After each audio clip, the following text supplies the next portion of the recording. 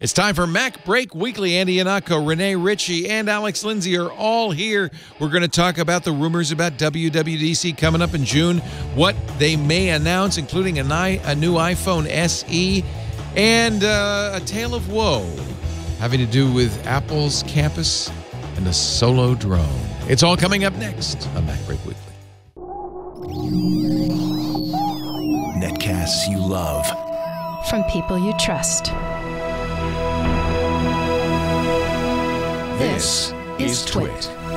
Bandwidth for MacBreak Weekly is provided by CacheFly at C-A-C-H-E-F-L-Y dot com. This is Mac Break Weekly, episode 598, recorded Tuesday, February 20th, 2018. Drone down at Apple Park. Mac Break Weekly is brought to you by Audible. For a free audiobook with a 30-day free trial, go to audible.com slash macbreak or text MacBreak to 500-500. And by Casper, a sleep brand that continues to revolutionize its line of products to create an exceptionally comfortable sleep experience one night at a time. You can save $50 towards select mattresses by visiting casper.com slash macbreak and using the promo code macbreak at checkout. And by WordPress. Make WordPress.com your online home. Plans start at just $4 a month. Go to WordPress.com slash MacBreak to get 15% off your brand new website today. It's time for Mac Break Weekly, the show where we cover the latest Apple news with the Apple and the and the Apple team assembles. Andy Ihnatko, all the way out there in left field. We had to put you out in left field. He's from the Chicago Sun Times, CWB.com, because Alex Lindsay is in playing in for a shortstop today. Thank you, Alex. it's all about keep staying on your toes. And uh, on our third baseman, Renee Ritchie. From I'm going deep, Leo. I'm going deep. Yeah. Ah, ah. Catchers and okay. pitchers report. Yeah. Uh, let me see your studio You're now. Out. You're you've you've got. I saw your vector video now. You're going video oh, on awesome. the vector. Yeah. Thank you. So you had to um, set up an actual studio with purple lights and. Oh, I just made them purple because your lights were purple. and I wanted to feel like part of the team. Oh, Leo. aren't you sweet? Yeah. You with a hue, you can do anything. I know it's it's almost like having a lighting person up in the rafters, just going purple. I know. Yellow. I love it. I love it. Then you smear Vaseline on the lens, and I look normal again. So uh, update all your devices. There's a new iOS in town and a new uh, Mac OS too, right? Updates all, all the around. OSs. All the OSs. TV OS 2. We are Watch now OS, up to 11.2.6. We are safe from Tegaloo. It's all it's all the fault of Unicode. I blame Unicode. Unicode. I, I started asking around, asking a bunch of, of uh, developers who work on messaging apps, and Unicode parsing.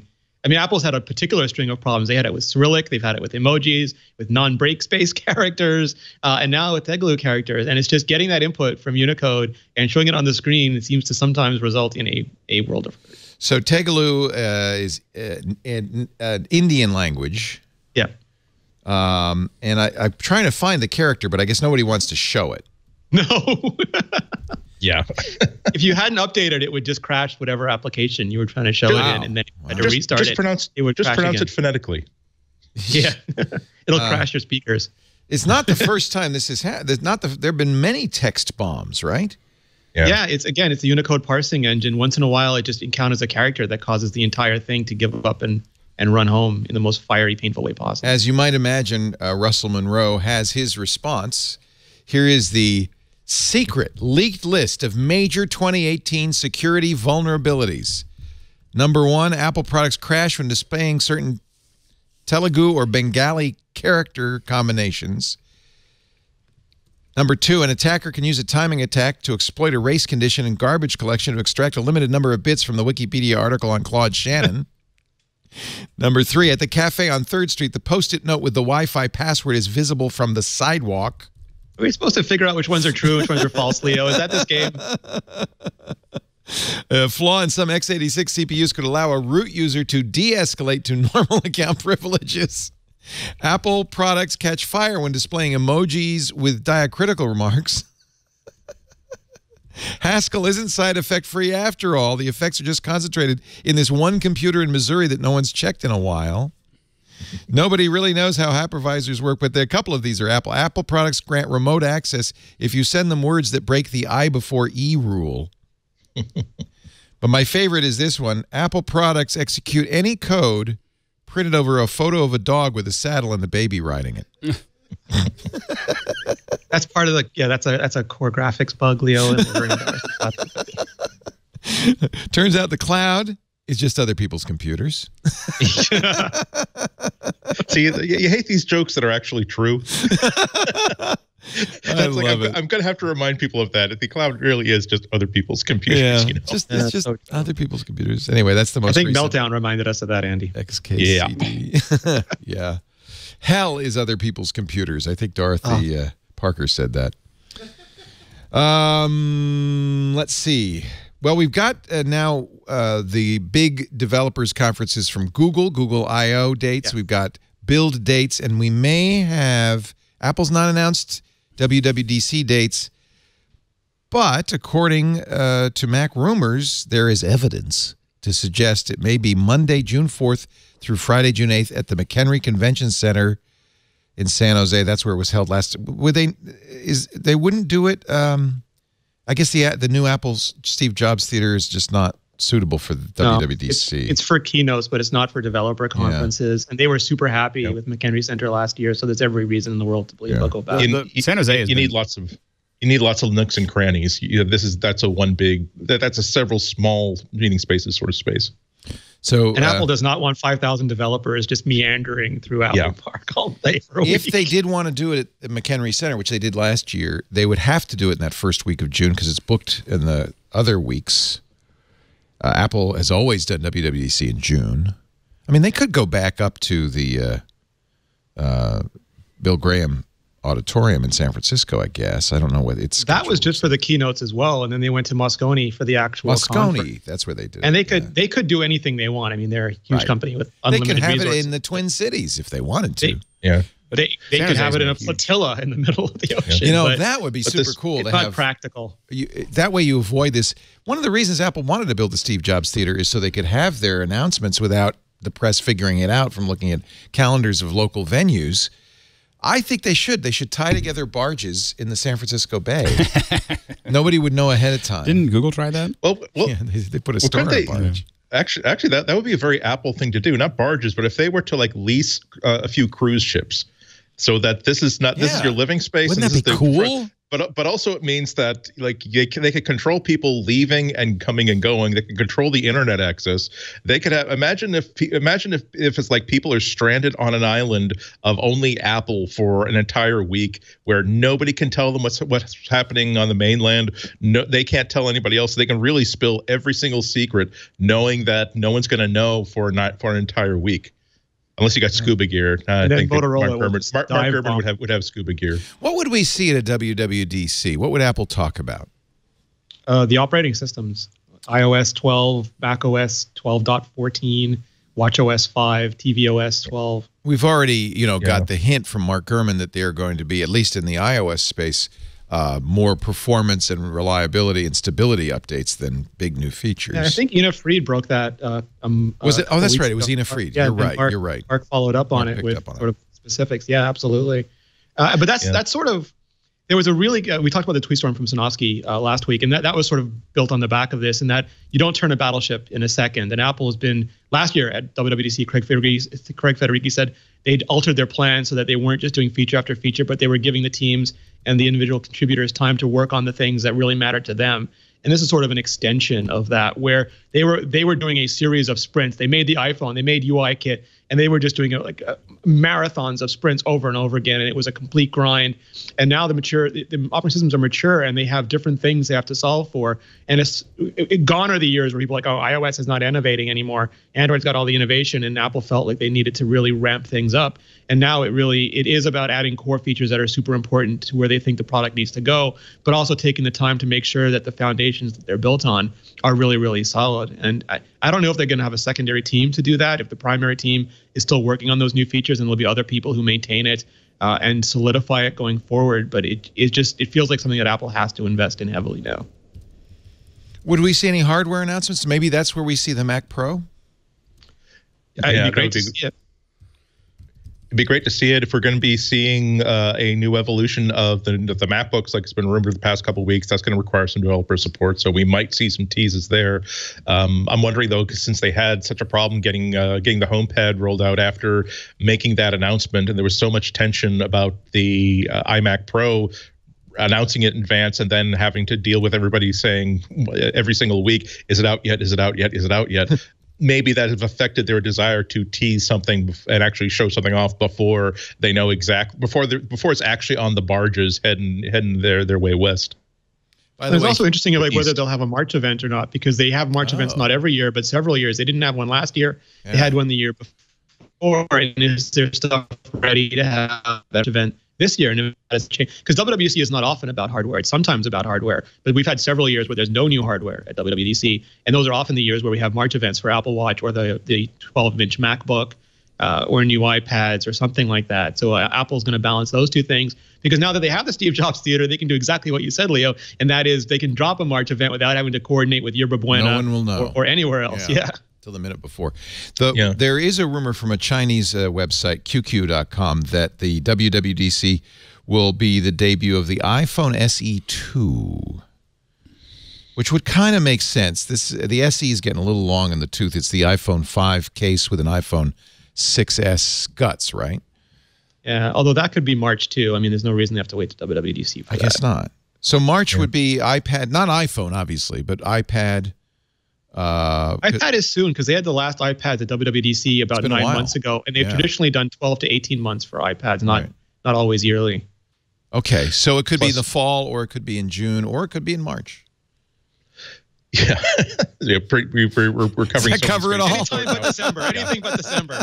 March March would be a, March would be a very good time to update the update the lower end MacBooks because that's when a lot of purchasing decisions are being made for fall. Ah. Uh, that's also a good time for uh, iPad rollouts if uh, for much the same reason, uh, but also because the uh, it's a good time to make it. If they've made a decision on the larger size iPad Pro, that would be an excellent time to do it, particularly because of their uh, their their branding of the iPads as real computers, or so so much better than so much as good as computers that they can't even call them computers anymore.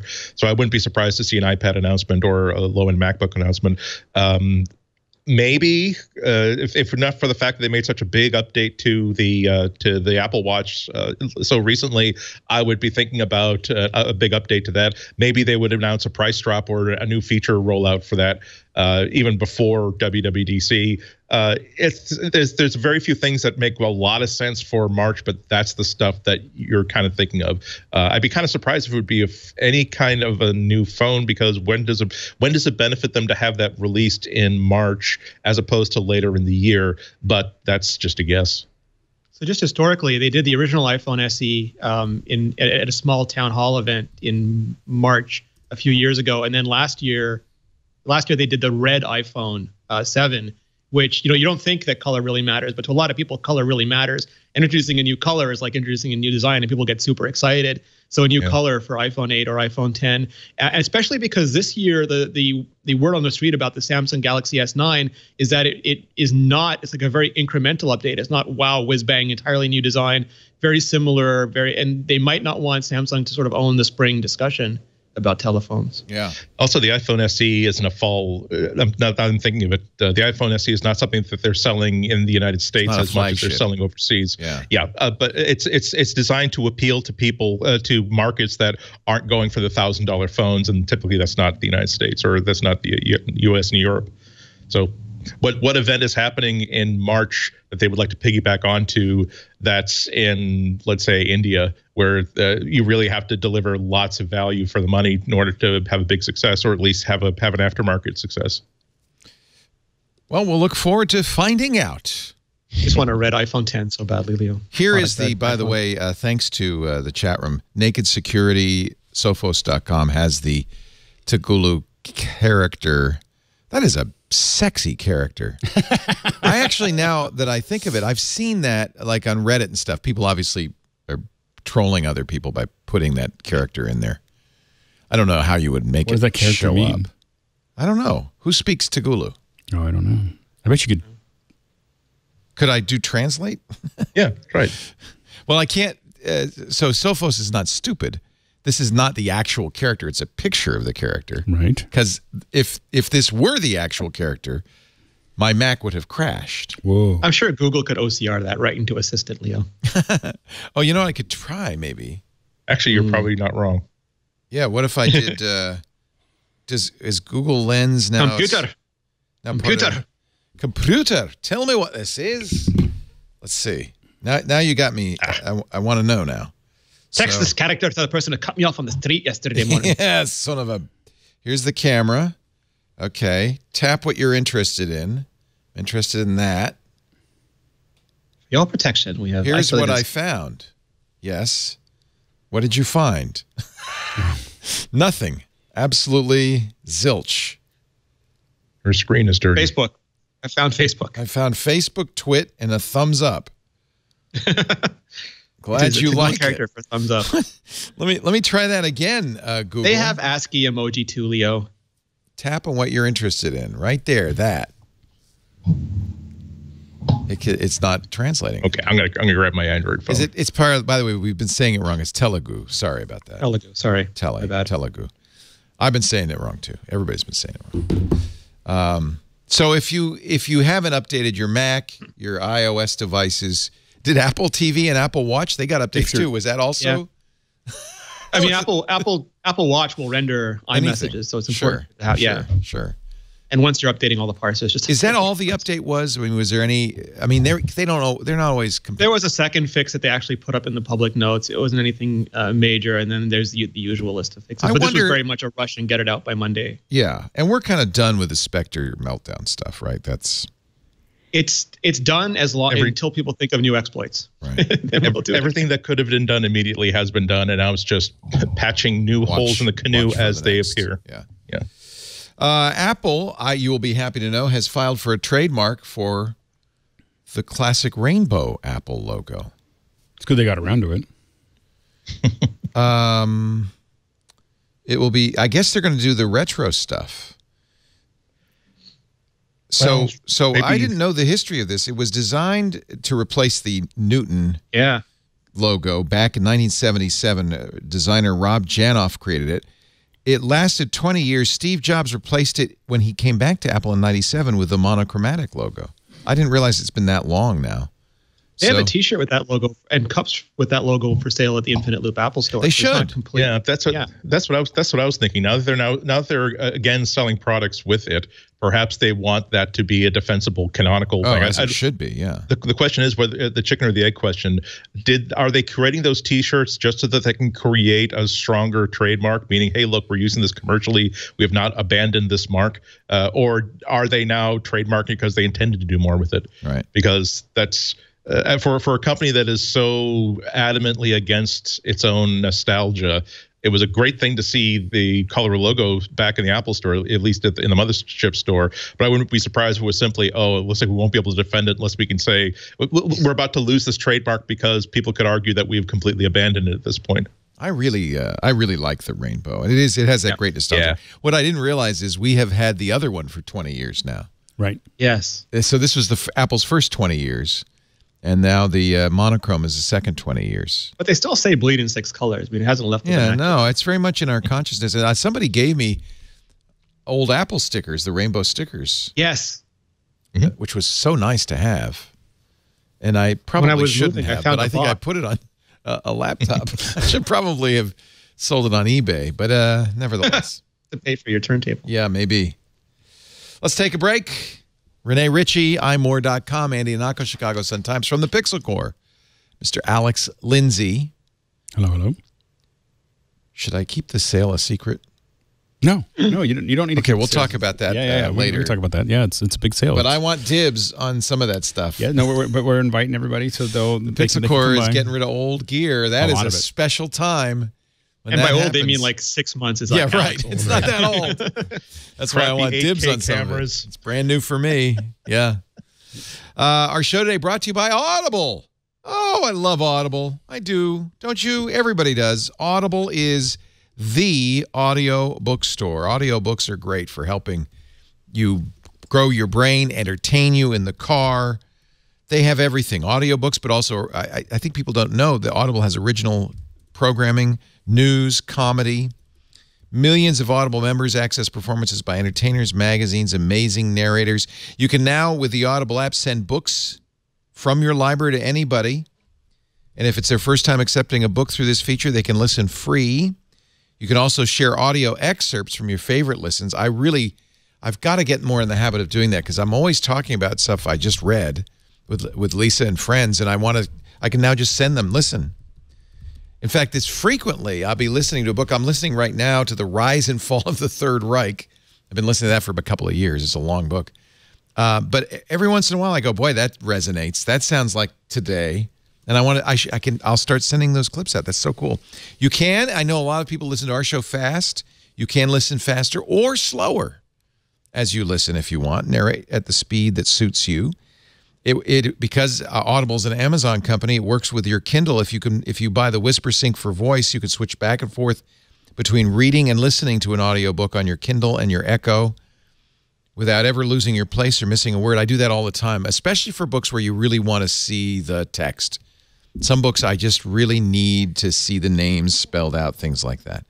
Audible members get a credit every month for any audiobook, regardless of price. Unused credits do roll over. Somebody was asking me. So you can accumulate them. If you don't like your audiobook, no problem. Exchange it with no questions asked. And once you buy a book, it's yours forever.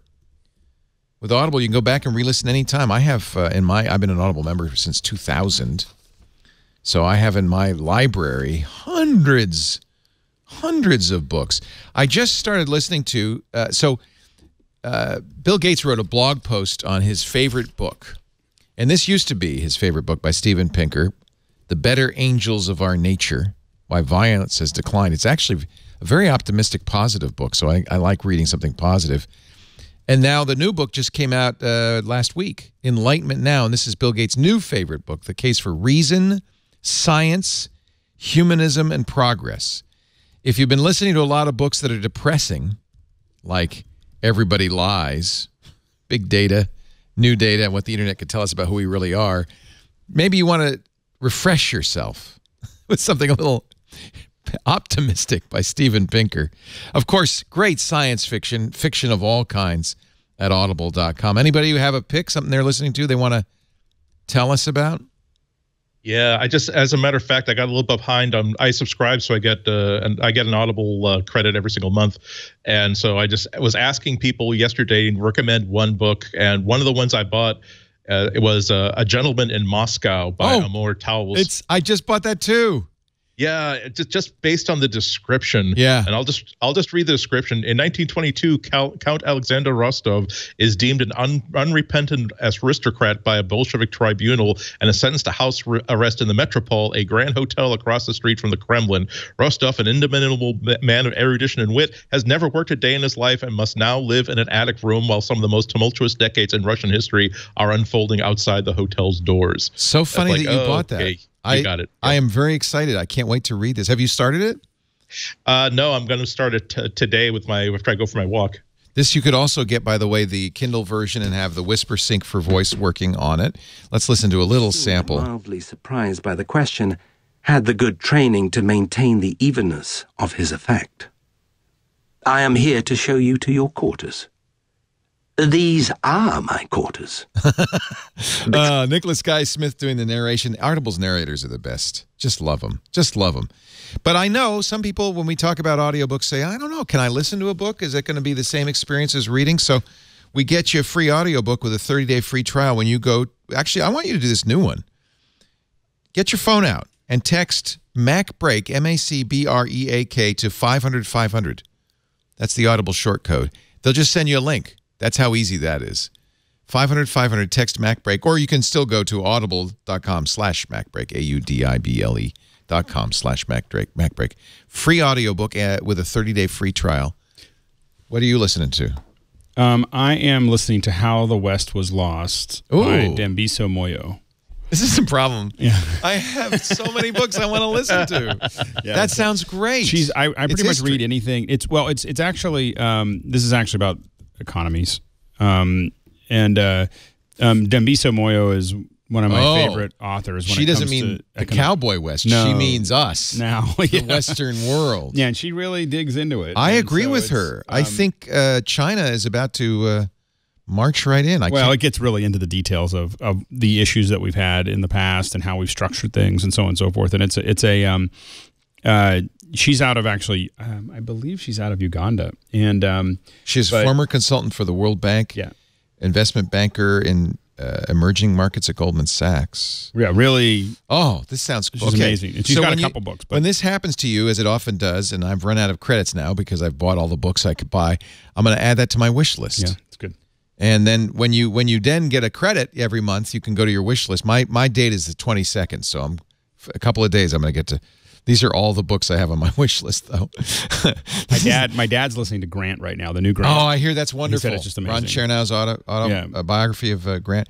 I really want to listen to this because I'm a fan of Bill James. If you're a baseball fan, you'll know about Bill James. He created sabermetrics. He was the statistician that really revolutionized baseball, and he's written a, a book using sabermetrics, using stat- statistics to solve a century-old serial killer, and he believes he's solved this.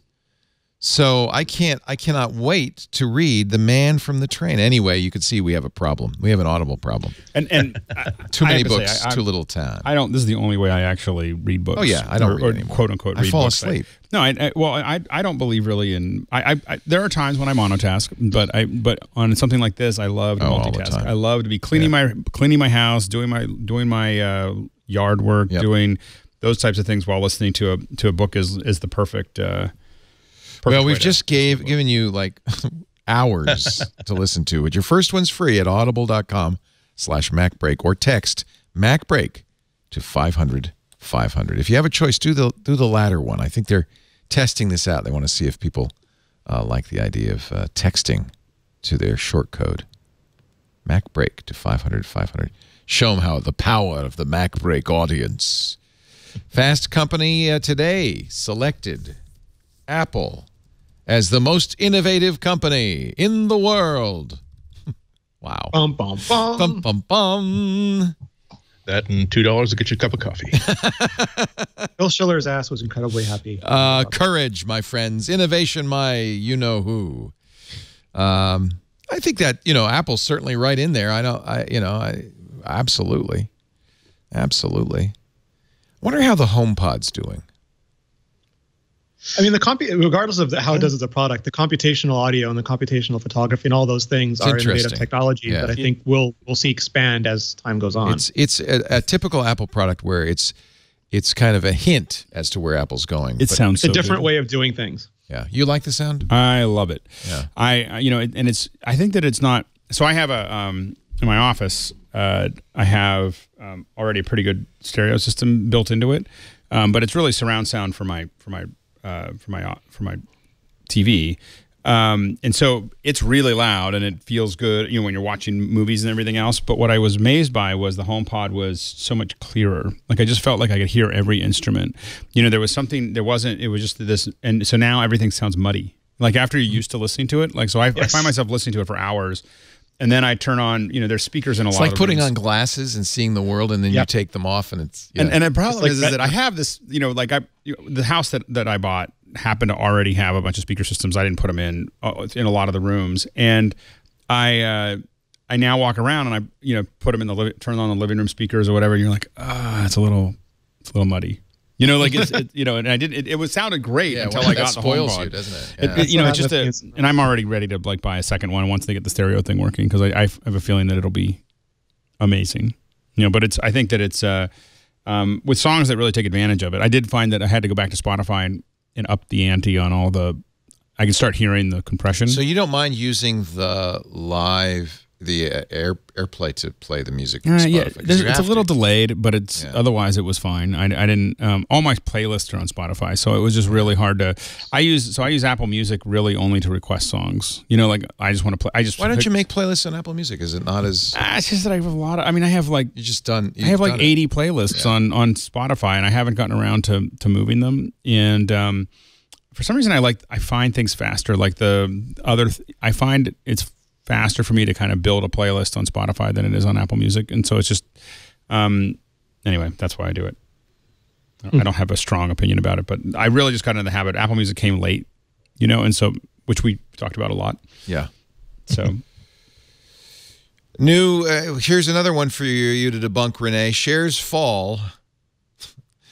By the way, I don't know how much they fell or whether they're still falling, but shares fall on fresh report of even greater reductions in iPhone 10 production. This is uh, the the whisper rumor from Nikkei that uh, Samsung is planning to make 20 make displays for 20 million or fewer iPhone 10 units. Uh, let me just see if Apple's. You know, I think Apple shares falling means the at the moment they wrote that story. Oh well, maybe yes. Okay, there you go. So this is the one day. It's not you know a huge down. blip if you look at five days or one month. It's uh, still higher than it's been since uh, January twenty third. It looks like. Uh, all right. But if we look at like let's let's go back to the yeah, one year, it's like eh, it's, it has there was a its dip. ups and downs. There was this big dip uh, at the beginning of the month. Was that the same rumor? well, that was I think it was a lot of dips in the beginning of the month. yeah, that was the stock market, right? Everything Yeah. was Yeah. going down. It reminds me of what that sh- what that uh, market maker said what was it two weeks ago that Apple Apple should really only move when it reports earnings and announces new products and everything else is manufactured. That's a wow. That's perfect. That's exactly right. right. The rest of it is speculation. And you never know because like unsupported. Nikkei has Nikkei has a great reputation, but they've also published articles that had absolutely no foundation in the past. And Samsung is a wonderful company, but they've also been known to leak stories because they they Right. didn't get the contract they wanted, or they wanted to put pressure on the contract, or they wanted to move the the like they were negotiating, they wanted to move the price of NAND flash. I mean, so like you have to take all this stuff with a grain of salt. And again, Apple had a huge quarter, and they traditionally sell less in the quarter after the holidays than they do in the quarter with the holidays. So From now on, I'm just going to bill these stories as a buying opportunity. Yep. Yes. Yeah.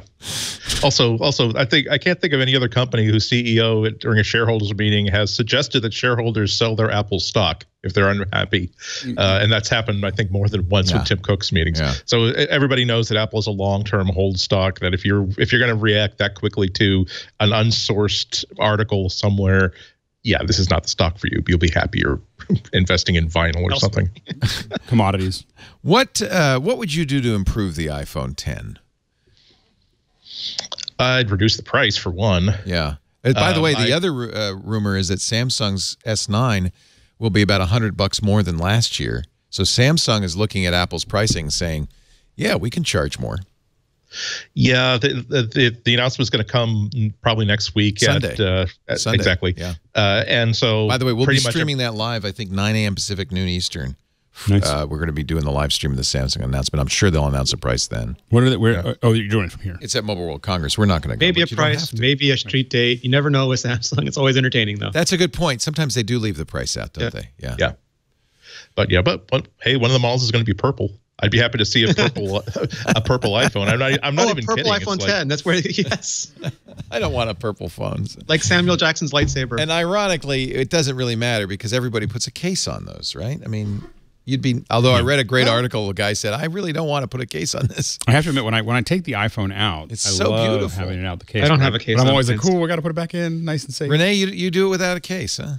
most of the time, if I have to review a case, then I put one on for a while. But It's most of the time, the I'll leave back that really sends me on this. I just took my case off. It's the stainless on the white one anyway. Yeah. The stainless steel uh, border that is Yeah. it. really It looks like the original.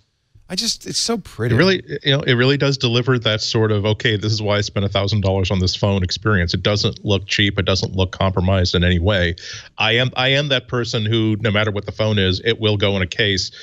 Probably because I take so many pictures with it. I just like to have these like rubber grips so that if I'm trying to get an angle like this, I don't have to worry about dropping inside a fountain.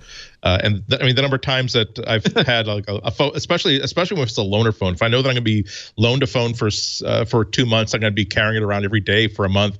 I will I will spend twenty dollars of my own money to put it in a case because, you know, all that has to happen is once, and then you're like, why did I not spend twenty dollars for a case? Yeah, it was Nick Statt writing in The Verge saying, "I don't want to. I don't want to use my uh, my iPhone in a case." There was a great article. I think it was in The Verge. Let me see if I can find it about um, the notch. Yeah, I think this is it. Brad Ellis, who's an interaction designer at Tall West, Yeah. talks about and this is an example of how Apple fanboys really, and I'm one, really gonna go way overboard. He says, you know, this notch, it's this is this is better than you think. First of all, he shows how bad it would look if they just put squared corners, but then he he talks about other ways to do rounded corners, and then he talks about the squircle, which is Apple's very special. And notice, by the way, now not only is there a rounded corner on the edge, on the outside, but the inside is rounded on the notch. And he says there is no point on this curve that you could get a tangent that's a straight line. It's it's uh well, I guess non-trivial engineering to fill Yeah, that yeah. with graphics. here he shows the difference between, uh, and it, it's hard to see, but it's an animated uh, GIF between a rounded rectangle and an iPhone 10. Can you see the shoulders on the rounded rectangle coming up a little bit? But the iPhone 10, so it's not a rounded w- rectangle; it's a squircle, and that Super and, and that is not easy to do. You, I mean, people don't make screens with squircles. Well, they do when, a- an Apple comes. Yeah, I mean that's that's lovely. I'm, sh- I'm sure the people who love. Uh, I'm sorry. I'm, It's a I'm- I'm- I'm designer. about- you I'm- I'm understand how designers are, right? They just care. Yeah, but there, there's I, I, there, there's a somewhat rude word that I use internally. Yes, I know what word you're gonna. and, I, and I won't I won't use. I won't use it, but it's Yes. like I'm gl- Oh. I'm glad that as someone with a really really sharp eye for design. No, no, not and I don't and I don't mean for necessarily for the designer. I'm talking about okay, you are basing. Uh, I, I, I want to make sure I phrase this correctly. It's, it's like it's nice that you notice these things. I wonder if you had phone A with some str- with some straight lines in it and phone B the way that the the Apple, Apple actually designed it would anybody who's actually using the phone really care Here's the, He here's the even problem. is says that at we, the It's- beginning, it's just, it's- it just it just it's- does, it just doesn't interest me It's deep all. nerd, deep deep design nerd talk. He even he admits to that, right? but there's I a should, lot I of should things. point out that there's a um, lot of things. is- that- Go ahead, Rene, first, and then we'll get. No, I was going to say I should point out that Brad is a huge fan of the show. So hi, I, I'm a fan of Brad Ellis. I Um, follow him on Twitter, he is and I love this article. so- phenomenal. yeah. Yeah. And uh, I, I had a conversation with Brad about this. We did an I, a designing for iPhone 10 pa- uh, roundtable with uh, Brad and Sebastiaan de With and a bunch of other really interesting designers. And when you look at the apps that they've been making since then, there's an absolute case for having a straight line. It's it's really nice, but it's not that Apple sort of put an envelope on top and took away your screen real estate. That would all have been gone. What they did is sort of open up these corners, and it looks weird at first, but then you have suddenly a little bit of extra screen. And when you look at apps like Apollo for Reddit or Halide for um, the photography app Halide, they put things like histograms in there, or volume controls in there, or ISO images in there, and it's like complications on the watch. It's just a little bit extra. Yeah. And yeah, in a perfect world, there'd be no bezel on any phone ever, but Samsung can't do that. Google can't do that. LG can't do that. So I think this this is an interesting way of tackling the problem. It, it sort of gives you that little bit bonus uh, screen and lets them make the marketing claim that it's edge to edge. But um, Brad is absolutely one of the people that notices everything about uh, the typography to the pixel um, and, anti-aliasing. and the truth is, I think that while people don't explicitly notice this, I think you might feel like it looks better. the the the issue really gets into when you talk about design is what we call subconscious detail. Yes, So the right. subconscious detail is something that you don't see. You can't quite figure out why this looks better than that, but it looks. It just feels like when you look at it, yeah, no one's going to notice that it's there.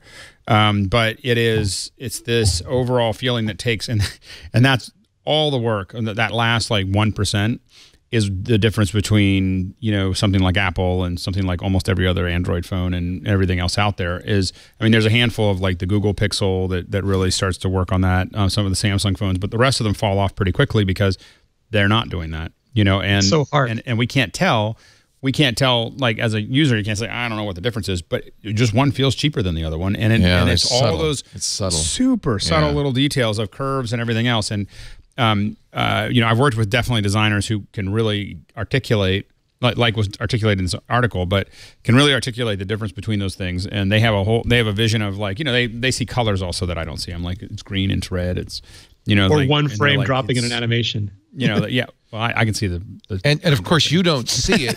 You don't see it yourself until somebody we- we tells talk- you, and then you then you can't not you can't unsee it. It's like Well- your HomePod experience. And you deal every business ha- every business has this. You know, it might be the way you know someone might be speaking good English, but do they sound like they're intelligent or not? That's very subtle use of words, how they structure their sentences. It's exactly the same thing. You know, when we do live streams. We, you know, good video means that you watch longer. You don't know why. the average viewer doesn't know that. They just go, they just stopped. They got bored and they moved on. They didn't notice that the camera angles weren't very good or the, you know, like all of those things. And so with all of these things, there's these subtle details that experts will. They are thinking about these things, like that curve that he's talking about. I guarantee there were meetings there yes. were a lot of meetings, yeah. and there were a lot of designs. There's probably a hundred versions of that little close up that were that were worked on before they spent you know. And getting the hardware to do it is again incredibly well, difficult. And that's not, that's not, a yeah. huge point, which is you know only Apple. In fact, Steven Sinofsky, he of the uh, Windows 8 fame and the and the long Twitter uh, post about the iOS underlined this paragraph from Brad's article. One of the things I love about indie apps is their ability to be opinionated. It's nearly impossible to ship strong viewpoints from larger companies where there are 50 people in a room examining angles. So it's cool to see Apple still has the ability to take a strong stance in this way. And, of course, they have the market cloud to get vendors to build screens. They do so much of their own silicon now, like custom controllers and custom. Like they did a lot of stuff on that screen beyond the panel they got from Samsung, and most companies just don't have the resources. So, are we okay with the notch? I mean, it seems to have disappeared yeah, I mean, as, a, as an issue. It drove me crazy for the first two weeks, and now I'm like totally fine with it. In fact, it feels like see it I don't notice it, except I know where to go. There's funny things. I know exactly where I want to scan to get to my notifications and stuff like yeah, that. Yeah, as it as it turns out, and maybe this is making lemonade out of lemons, but as it turns out, having those ears is, as you pointed out, Rene and Halide and other programs, but on the on the front page is just useful to know that's where that's where those are going to be.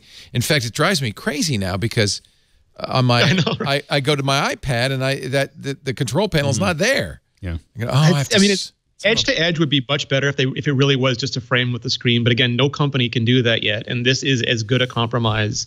As, well, I have a Samsung Note 8, and the way they avoid it, they have a you know they just don't go yeah. all the way to the top of the screen. Um, they have a um, bar that's, that's yeah, they're, they're fine yeah, there, there, there are a lot of different ways to solve this problem. Uh, the, I, I did like the uh, the essential phone, just simply saying we're just going to have hard corners everywhere, uh, and there is they weren't they weren't putting as much on that front screen as Apple was certainly, but at least having a selfie camera, saying you know what, there's going to be a deal with it. There's going to be some missing pixels around a circle at the very top of the screen uh, that will have the opening for light sensors and the uh, and the uh, and the camera, and just deal with it.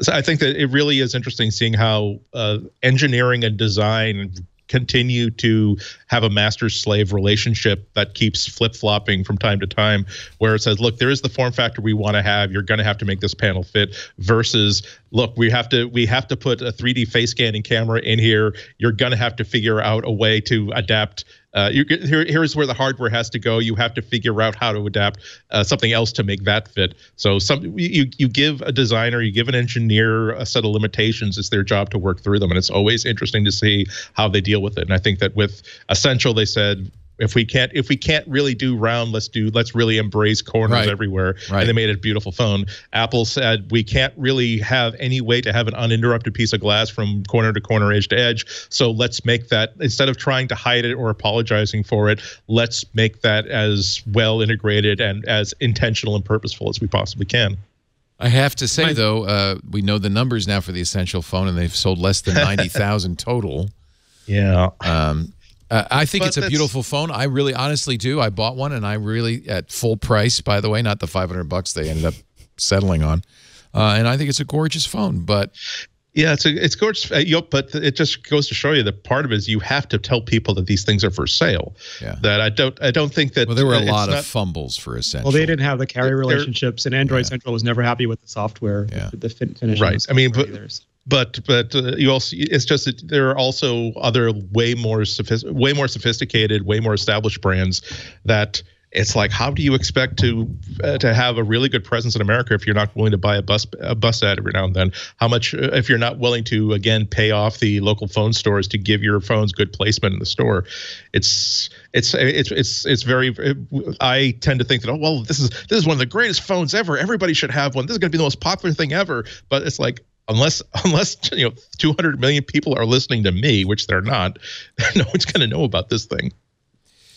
Um yeah and actually while we might say that apple's success comes from sweating the details and sub you know subliminal uh reinforcement it also has a lot to do with market clout the ability to get in stores buying They have big a couple ads. stores. They If I only had a couple stores, you know, I mean, well, I mean, for, for phone companies, it's carrier relationships. I mean, that's what kept and BlackBerry they have alive for a every long carrier. time. No carrier. It's funny because Apple launched right with just one carrier. They couldn't get Verizon turned And Andy them Rubin had a huge history. I mean, his history going back to the Sidekick with uh, Sprint, and I think it was with Sprint. Was it, no, it's T-Mobile. It was a Sidekick, and then he did the original Android phones, and he had great relationships. But I, it always felt to me like it was a bit of a ploy to get because the rumor is that Google wants an iPhone badly. That's why they're working on the Pixel. But they, like he could have sold. Like it, felt a little bit like this was, hey, buy my phone, take me back, all's you know, all's Ah, forgiven, and we'll make a great product together. Yeah. And it for a variety of reasons that just didn't happen. Yeah, that's interesting. Yeah, the Pixel went. I mean, I love the Pixel 2 XL, but in every respect, when you the design is no, I mean, it's just not. It's not a gorgeous phone. It's a It's their second, yeah, It's it's, a their high- second phone. It's a highly functional phone. Well, see that that's where design is so uh, so many different ingredients. I I think that one of the strengths of the Pixel 2 is, and you've covered it up with stickers, the fact that let's not just have a boring single tone case. Let's have a dot, let's have a panda. We'll have the top of it be white, we'll have the bottom of it be black, and let's have a phosphorescent uh, orange uh, sleep wake button on it. That is so cool as far as I'm concerned. And like and Rene and I have been talking for different products, saying I if all that all that all that Apple has to do is come up with a red version of the iPhone 10. I really want a red iPhone 10. Just like if just like I hate to say it, but if it were kind of close between switching back to the uh, next iPhone or the next Pixel phone and the iPhone came in a really good like flake metal purple as a limited edition, that's that Yes. I, it's it's weird, but that might be enough to tip the scales. That it's it's close. I could be very happy with either one of them. I really love that baked on f- purple metal flake finish, Yeah. and I don't care if I do have to wait in line for two days to get it. I want it.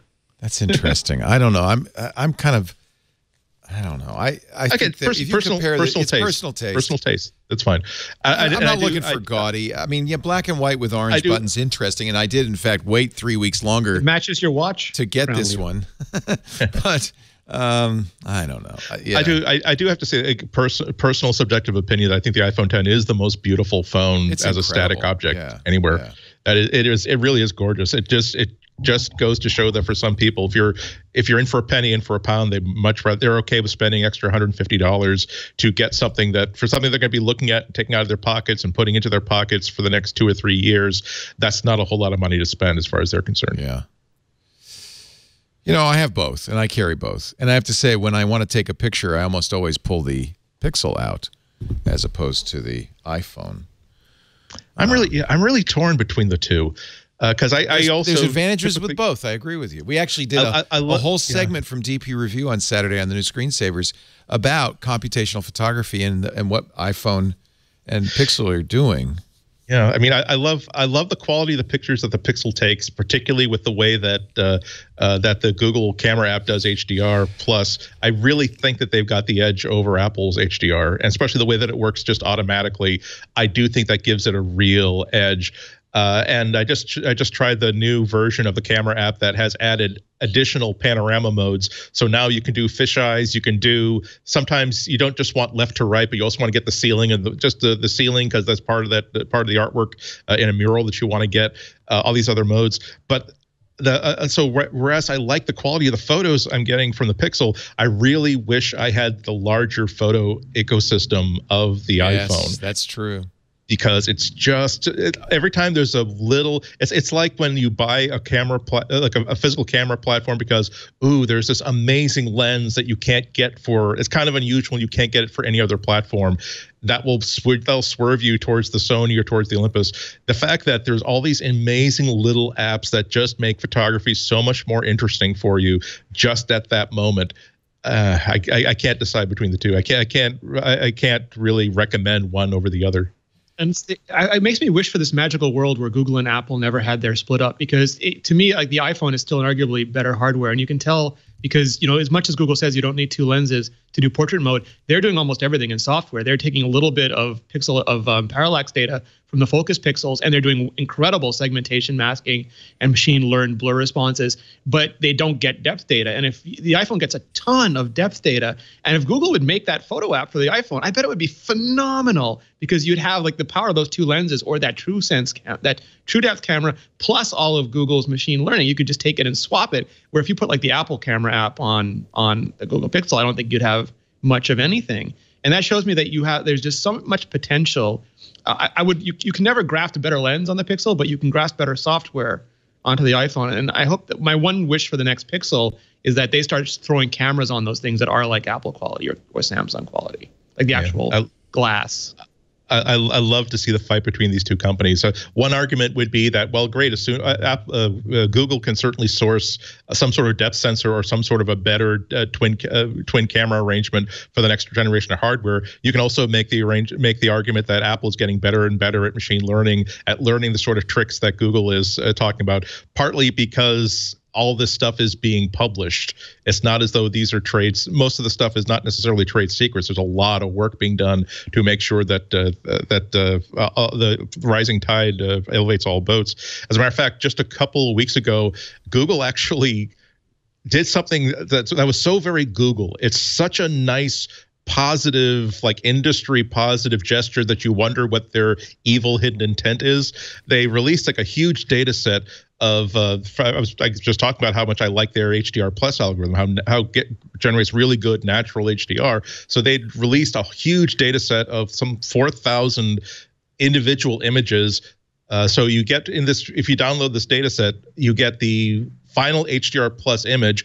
Plus, you get the source images that the that the phone shot to get that, an intermediate image as well. So you can actually test your own algorithms against the result that Google's algorithms are getting. So their desire is to say, well, at least if in research, at least let's have a common framework to discuss how well these uh, algorithms work. Here is a so uh, when you're publishing a paper, you can say I've I've used uh, Google HDR data set number 441 for this. So now if you want to create your own version of this algorithm, you can test your own results against it. So hopefully it will just continue to become better and better and better cameras. I mean, I I, I can say enough. I can I can give no stronger endorsement for the Pixel and the iPhone than the fact that like a year and a half ago I bought like a $600 pocket camera for all those just for all those times where I didn't want to take like my big interchangeable lens camera and there's so few times that I'm actually like t- charging up and taking me taking it with me because I am having I'm getting so many good results just with this darn phone.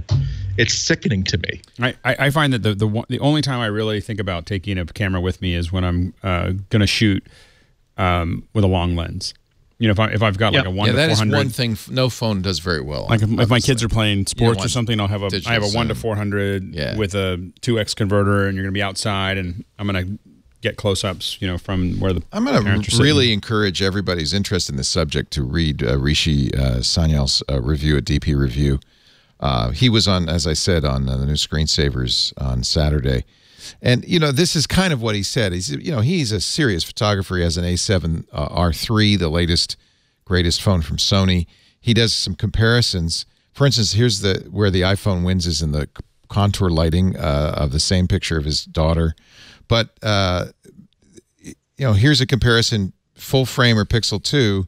He said I can pick out the difference, but the point is, you can get this shot right out of the phone without thinking about it. Another example: he said I took this shot. Uh, oops, I zoomed in a little bit. Let's go back on the Pixel Two, uh, and I didn't do anything in order to get a better shot, arguably better shot with a full frame sensor camera. I had to take out a polarizing lens and you know on and on and on uh, four stop reverse graduated neutral density filter and a dynamic range compensation mode to get a usable image that's where the hdr plus in some of these cameras is quite remarkable. This is a good good article. He he basically says the same thing we've been saying which is you know there's advantages uh, in the iphone 10 there's advantages in the pixel 2 they're both doing amazing things. And with the exception of perhaps you know specialized situations like a, a long telephoto man uh, it's it's pretty amazing. Here's here's the uh, he did a he has they have a studio chart that they use. And if you compare uh, the pixel 2 image with the micro four thirds image because it's doing, even though the sensor is one ninth the size, because it's doing nine images in one frame, it's getting very close to the resolution of a Micro Four Thirds camera. That's remarkable. Yeah. That's remarkable. I, I was at I was up at um, Starbucks up in up in uh, the the reserve one of their their reserve breweries. I guess they have Oh, yeah. that they've started to open, which is by the way For coffee Oh my gosh! Yep. or beer? No, it's it's Coffee. a it's a it's a it's a brew, I'm sorry, roastery. It's a it's a uh, you get confused me with mean a brewery. brewery. No, no, it's it's a up in Seattle. They have a Starbucks roastery, which is like the Willy Wonka's factory for coffee. I mean, so I got this kind of crazy orangey coffee thing and uh, and a sandwich, and I took this with with portrait mode, and I was Oh, it's that is it's on- gorgeous. Where's that? Can I show that on this Yeah, screen? it's on Instagram, but you can. Uh, That's amazing. Let me get. Let me pull it up. well, and I have to admit, it was it was it was the portrait, like the studio mode or whatever in portrait. I took a picture of something. I was just curious. I just like spun through it. see what was like, happens. yeah, let's Good see what happens. Lord, that's gorgeous. and that was you know that was like I, I snapped it when I took a picture. I was like, what? So that wasn't of a person. It was It somehow likes your croissant sandwich. yeah, it was a croissant sandwich, and it's I was corrected that it's not a sandwich. It's some kind of other. Oh, thing. I don't know what it is, but I want it. It was really good. I'm going calling there. like by the way, if, if you're ever in Seattle, this roastery, like it is kind of the most amazing coffee shop uh, and bread and bakery and thing that I've ever been to. But it takes really good, like literally, that's with the portrait mode, like the studio mode.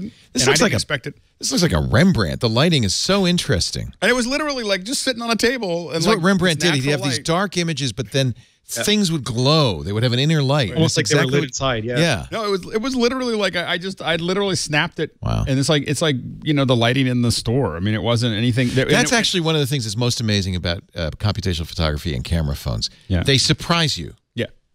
Yeah yeah. That sometimes you get a shot, you go, "What?" And that's what I start. I've started now, especially after this. I, I start spinning through all those settings and taking photos just just to see like what's going to happen. Yeah. Uh, that's my that's uh, and that's shot with my iPhone as well. That's That's gorgeous. That's the rock. It's the same that's thing as the music. Is that they do the they do the science behind it, and then they give it to their artistic photography team, and they do things like, well, let's not just have normal noise. Let's find a really appealing grain pattern if we have to have noise, and let's not just do a Gaussian blur. Let's do a custom disc blur when we're, and let's treat the lights this way.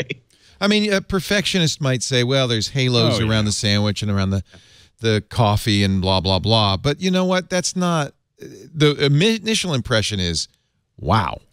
Right. Exactly. And, and the thing is, I'm not. I, that's my. It's an Instagram photo that I took while I was while, while I was on the. I was I was talking on the phone on a conference call, and I took that p- picture. It wasn't like I, I was doing an ad. Bored on a wasn't- conference call. I wasn't doing an ad agency, you know, thing. So Yeah. The, the other thing is that these features get people engaged in photography as opposed to just taking Yeah. snapshots. Where uh, I've I I have my I have my uh, my visual receipt of the fact that Grandma was here at lunch. People can actually get dramatically good results by doing dramatically simple things. Like uh, I'm not a huge fan of portrait mode because um, I'm because I, I often really shows the artifice in work, but that's just a per, that's just a, a my personal thing. Uh, but the fact that people can think, "Ooh, I'll use portrait mode on this," instead of just being a passive click, "Great, we got it," saying, "Let's see how good a picture we can take," and then that leads to people asking themselves, "What do what is it that I like about a photo, and how can I enhance that uh, in the pictures that I take?" And that's what turns you into a photo nut. Let's take a, uh little break, and we're going to have some feel good stories and some fun stories. And then, of course, our picks all coming up. in the sale. Oh, and and and Alex has some very interesting news, but I already put dibs on one of your cameras. but first, a word about sleeping better. Sleep is everything. Sleep is the best way to lose weight, to reduce stress, to feel better, to literally improve your health. And it all starts with a great mattress from Casper, award winning mattresses for your best rest. Ooh, this is our new Casper we just got. oh, I'm glad you got the video. this has become a, a ritual here at the Laporte He's household. so excited. He already has his pajamas I on. He does not want to have to wait one I second. start in my jammies. I love these Caspers because they come in surprisingly compact boxes. When you open them up, though, whoosh, they go to full size, and it is the most perfect combination of bounce and support that you've ever had. Oh, I love my, I love my Casper. Oh, you're gonna love your Casper too. The the best bed for better sleep. The original Casper mattress combines supportive memory foams for a sleep surface with just the right sink and just the right bounce. Plus, its breathable design. I really majorly appreciate this because, you know, it's winter. We got the heat on in the house. I don't want to sleep hot, and the mattress sleeps cool, which allows you to regulate your temperature through the night, and you sleep better. Long lasting comfort and support. Even the kitty loves Casper. You can buy it easily. Oh, that's Samantha. Samantha loves it. Uh, you can buy it easily online, completely risk free. They understand you want to try a mattress before you buy it. That's why, because you're going to spend a third of your life on it. That's why they offer free delivery and painless returns in the first 100 days. So you don't have to lie down in a showroom. You can actually try it in your life. One of the reasons this works is nobody ever returns a Casper. You just you're just gonna love it. Free shipping and returns if you want it to the US, Canada, and the UK now. Go to Casper.com slash MacBreak to get your Casper mattress today, and you can save $50 towards selected mattresses. Some terms and conditions apply. Casper.com slash MacBreak. You do have to use the offer code MacBreak at checkout. Casper.com slash MacBreak. Promo code MacBreak to save $50 on select mattresses at Casper. C-A-S-P-E-R dot com slash MacBreak. Even the kitty cats will love your Casper. Feel good story of the week iPhone and Apple Watch. Their emergency SOS feature saves a woman and her child after a collision. Drunk driver to spotlight hits the car. Casey Anderson, this was uh, late last year, was hit. uh, The car was launched by the force of the crash. The occupants were buffeted until the vehicle came to a stop. Everything in the car went airborne. She was she hit the steering wheel, the headrest back to the steering wheel of the window. I blacked out for about a minute. I couldn't see. My eyes were wide open. All I saw was black. My hands flew around to feel for my phone. Then I realized I had my watch on and commanded it to call 911. Turned out she had a severe concussion. That's why she couldn't see, with brain swelling and bulging discs. And it, thanks to that Apple uh, SO emergency SOS feature, she was able to just hold it. We should tell everybody how to do it. Rene, have you ever used emergency SOS? I have demonstrated it. I have never used it in in real life. Tell us how you do it. You can do it on your Apple Watch or on your phone, and you basically uh, you just start squeezing. Um, I'll use this because it's really big. You just start squeezing the sides, and it'll come up In uh, six seconds. Yeah, it'll start. I'll terminate now. Wow. won't, uh, Yeah, because it'll it'll actually Your bills call won't show up eventually. at the house. Yeah. yeah, and it'll alert your emergency contact as well, which is really important. Everybody you're out- should know that. Yeah. Yes, set up an emergency contact. Set, go to Apple Health, set up that whole profile because first responders can do that on the phone too. They can see what blood type you are. I- I've talked to first responders. They say the most important thing, the thing we really want is to call your next of kin. Yeah. Then we can ask them questions. It's all in there. Fill that out. And then if you do the same thing, you hold the side button on the watch for six seconds. Uh, it will uh, actually didn't even take that long. You get an emergency SOS on the on the watch. Um, turn And set it up and do it. it, it's a huge advantage of Apple being so unified with their products is that first responders are likely to know about this and look for it That's because the iPhone is just so iconic that they've become aware of it. It's not a fringe feature. Yes. it's nice to have a feel good story. Here are the new emojis. All of them. Not all approved yet. Oh yes, these are approved. Wow. Oh, there's a Putin emoji Leo I'm boycotting. We're getting 157 new emojis. Now this will be that means there's god dang it 208,000 2,823 emojis. Oh man, you want to see all of them? Here we go. Here's a first look. This is uh, from Emojipedia. All 157 new emojis. Party face, pleading face with big sad eyes, Anime face. woozy face. I like woozy face. cold face, hot face. Uh, redheads, gingers, you finally get your own emoji. And of course, skin tone, as always, is variable. Curly haired people, too. And our, Oh, all us old folks. There we go. get mine. And people who look like cue balls. Actually, that's awesome. Super villain face. I love it. Superhero, not much difference between the villain and the hero, uh, but there you go. Spoiler. Oh, a leg. Have a Go leg with the arm. or a foot. Just the or foot. I don't a tooth or a bone. Oh, now I can be a, a, a scientist with goggles, hiking boot, woman's flats. Ooh, micro. this is good. I'm liking these. Mosquito, parrot. These are the uh, not the Apple emojis. These will be the uh, these are the kind of the Emojipedia emojis, but uh, Apple will undoubtedly do something similarly 3D. The hippo's interesting, stepping out. Cupcake, Little- bagel. A little bit of controversy with the lobster. You realize that that is a cooked lobster. That's not a live Oh, it's red. Right. Lobsters are not red. That's not good. Well, Also, again, that's a serving suggestion, right? that's a Montreal bagel, not in. Frisbee, lacrosse. Was it a Montreal? But chess pawn, softball, puzzle piece, magnet, toolbox. We really like the scientists. We got a petri dish, a test tube, a Oh, lab coat, DNA. It is flu season. Yeah, an abacus for those of you who uh, go old school.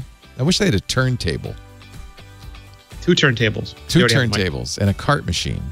There's a toilet paper roll, red envelope for the Oh, Chinese. New Year. Gong. Hei Fat Choi. Yes, I saw that.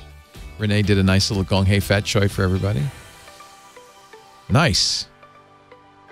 Yeah, Lots As of we- uh, lots of I, I'm emojis. I'm still I'm still old. sc- I'm, I'm making the transition to emojis where instead of I, I can't be bothered to like take my hands off the keyboard and click on something to get the thumbs up emoji. But at least I'm now typing in parentheses thumbs up emoji close parentheses. so you're saying that is a uh, Montreal bagel? Is that I'm really? claiming it, Leo. I'm claiming it. I know that other people are going to say it's a New York bagel.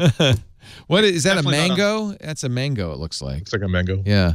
The tooth is disturbing. Yeah. It's Yeah. a healthy, well, especially because it's a healthy tooth. Someone pulled that's, that's malpractice. A dentist pulled a healthy tooth. Well, they cut a foot off, Andy. I mean, they're, they're obviously they have no fault. Uh, well, if you get a foot, you should put it in a shoe, and you get your choice Oh, that's there. a, that's that's no that's that's the Monty Python emoji. I insist Ah. it's the Monty Python emoji. I just find it. And of I- course, these will drive up. the disembodied leg is kind of creepy too. yeah. Oh, an arm it's a major award. beginning. Put that It's put that major next to the lampshade. Uh, Is that a skunk or a badger? What is that? I think it's a badger. uh, it's I say badger. not a I'm Wolverine. calling badger, Okay, peacock, parrot, but it's not a honey badger. not a honey No, badger, Which I hippo. think they, I, I think they should have an emoji for honey badger. Or like we call it in Canada, a syrup badger. That just looks like a regular badger. yeah, Huh. the hippo's Huh. doing some weird hippo dance. Oh, that's not that's, that's not a. So is that a raccoon or a badger? I'm sorry. The the the, the full face That's version of the animal. a black and That- white raccoon. That is not an American raccoon. Really? Okay. That's a Chinese panda coon. Oh, And I should rem- I should remind everybody that the hippopotamus is the most feared animal in Africa. It wasn't As the it crocodiles should and be. snakes that we were warned about. More people feared or the most die from hippo uh, Yes, crushing than Is lightning grumpy? or terrorists. they're Also. I understand they're very very sarcastic. Andy, you raised a sad point. That is a cooked Yeah, see? Lobster. Yep. Well, that's I'm how we I'm know not- them. I, I, I don't want to be I don't want to be that guy. I'm just saying that you know cartoons always show them red, and I'm saying these. Anytime you have like a, a walking around red lobster, you're looking at a zombie lobster, which is awesome. but make sure that you, you understand what kind of character you're writing. What is I'm choosing what, to believe it's a Lego lobster. what kind of pie is this? I don't. Is that a, a pecan pie? it's a it's a thick pie. It looks like a a pecan might, pie? might be almost a No, meat looks like a- pie. Yeah, meat pie. You know, with it. Yeah, with doesn't it? That's, isn't that like an egg in the middle of it? So it could be a pork pie. oh, see, they try to make these international as international as they can. And that cupcake. I mean, come on. That is a beautiful. That is a Sift cupcake. That's our local cupcake Mm. factory. Yeah. Alex, did I you have any good cupcakes or, or donuts in Seattle? There's Voodoo's up there, right? I didn't. I did Yeah. not. I I uh, just had coffee and a and a really good And a uh, really good croissant sandwich. sandwich. sandwich. All right. Um, what now? Uh, is that soap? I guess that's soap. It's pink. yeah. Or lu- oh, there's is that loofah next to it? Or There's a sponge or a loofah. Yeah. Well, they've they've uh, you know they really pretty much. It's kind of hard to imagine an emoji missing, except what for I, no, what I believe, yeah, what I believe, Leo, is that you should be able to long press on the French fries and get options for tater tots, hash browns. Ah, now you're cooking. Yeah, Now you're cooking with cheese curds. Uh, it was, yeah, squeaky third, cheese third, curds. party, third party opportunity for 3D touch. Would you not agree? a, a replacement emoji keyboard where it's Actually, actually, that's that's not a bad idea because I, in addition to doing searches, you could probably start off with five emoji. That is just here's a smiley face, here's a piece, here's a uh, here's a piece of cake. If you long press on the piece of cake, okay, now you're now you're digging into food. So are you looking for baked goods, dairy, vegetables? That would probably be the easiest way to actually get to the one you want when you can't when you don't know how to how what what keyword has been assigned to the actual emotion that you're trying to hit. Third party opportunity. As long as we're talking emojis, let's talk about emoji apocalypse. Uh, dum, Bum, bum. bum, bum. For some reason, I reason, wish I could get tickets to that. seems to be rejecting games with emojis in them with the one word reject one line rejection your app and apps met, metadata include apple emoji which creates a misleading association with apple products that Um, recent, I thought they fixed that. This is moji ma- can you have to make your own emoji if you're gonna They- they- I mean, these rules are so uh, they're they're completely separate divisions within Apple that do a lot of these things. And uh, the I think the the the hair they were splitting is that if you used Apple emoji in your art, then you were violating Apple's copyright. Not that if like you weren't displaying it on the keyboard, but you were actually using Apple's emoji to advertise your product, that was a violation of Which Apple's copyright lazy. on those specific. Em- Yeah, you should. If you're gonna, here's, uh, you know, if you're gonna have a crying face in your game, you should use uh, your own damn crying face instead of. Yeah.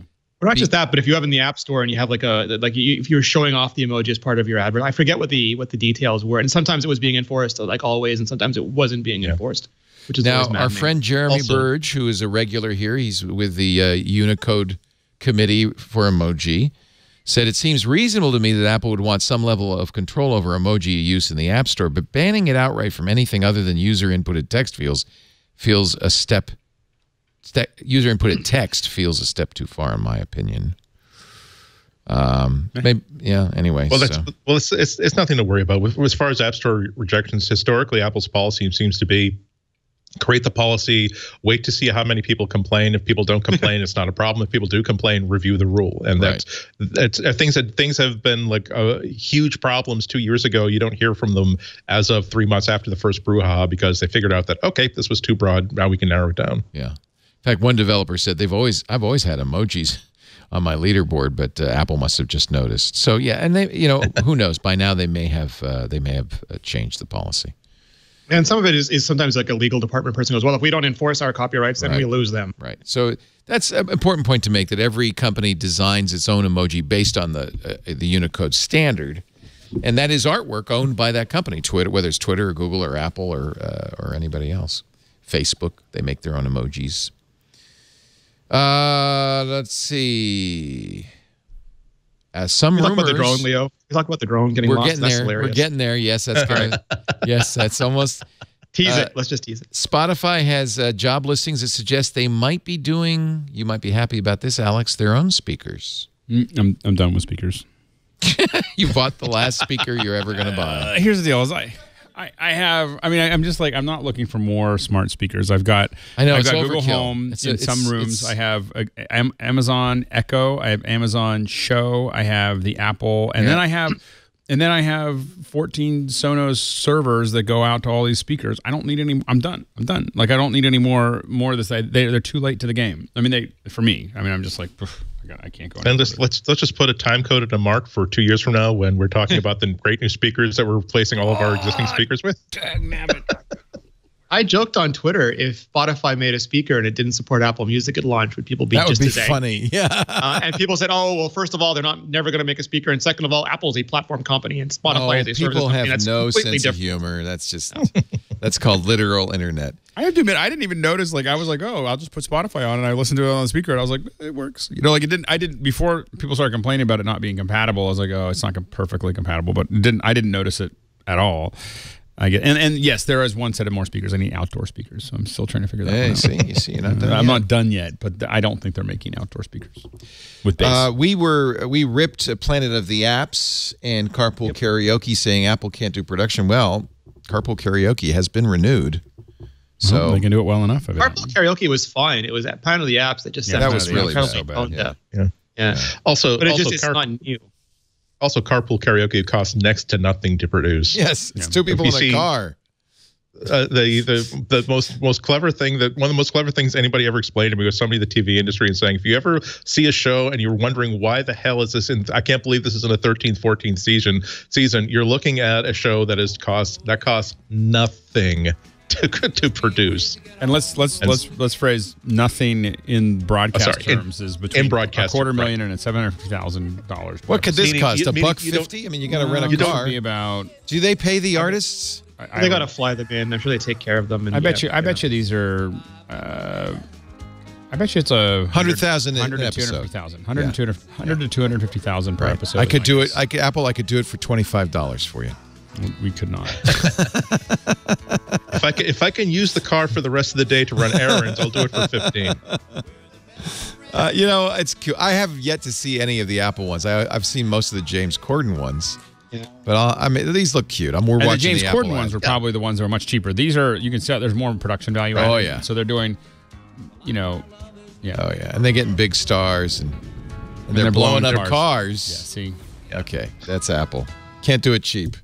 Watch only on Apple Music. out of the market So uh, one of the reasons I haven't seen it is I only now have subscribed to Apple Music for my HomePod.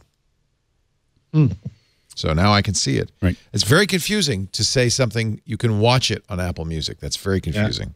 like why, get that movie on iTunes. It's just I don't know why we keep getting stuck in these. You do- Yeah, do we got to fix that. Do you have the YouTube TV? I do. I, I love it. YouTube TV is, I Okay, think, I the one like to it. get now. I like it. It is the one to get. It's the one to get right now. It's it's So uh, for few live areas, TV. It's, the interface is a little funky. Like they, they have to kind of go back and like. I like the interface, but uh, no, it's you- like it does you- this weird thing. Like it, it skips too fast. It's, it, the interface itself is fine. They're for some reason the way they program the interaction is is funky. You know, it's like I like like the, device I like the, uh, the the guide is great because you can hover Oh, over yeah, it and no, you can see the live video. They've added some channels, including Turner Classic Movies. Frankly, that was enough to put me. Mm-hmm. If I weren't a Yeah. subscriber, that would have put me over the top. Here we are, Sweet Bird of Youth, Paul Newman. Ah, that's see, that's great. And the fact that I could, if I if I want to record it, it's. I'll show you what we do, and I do this uh, every few weeks. I go through uh, Turner Classic Movies schedule.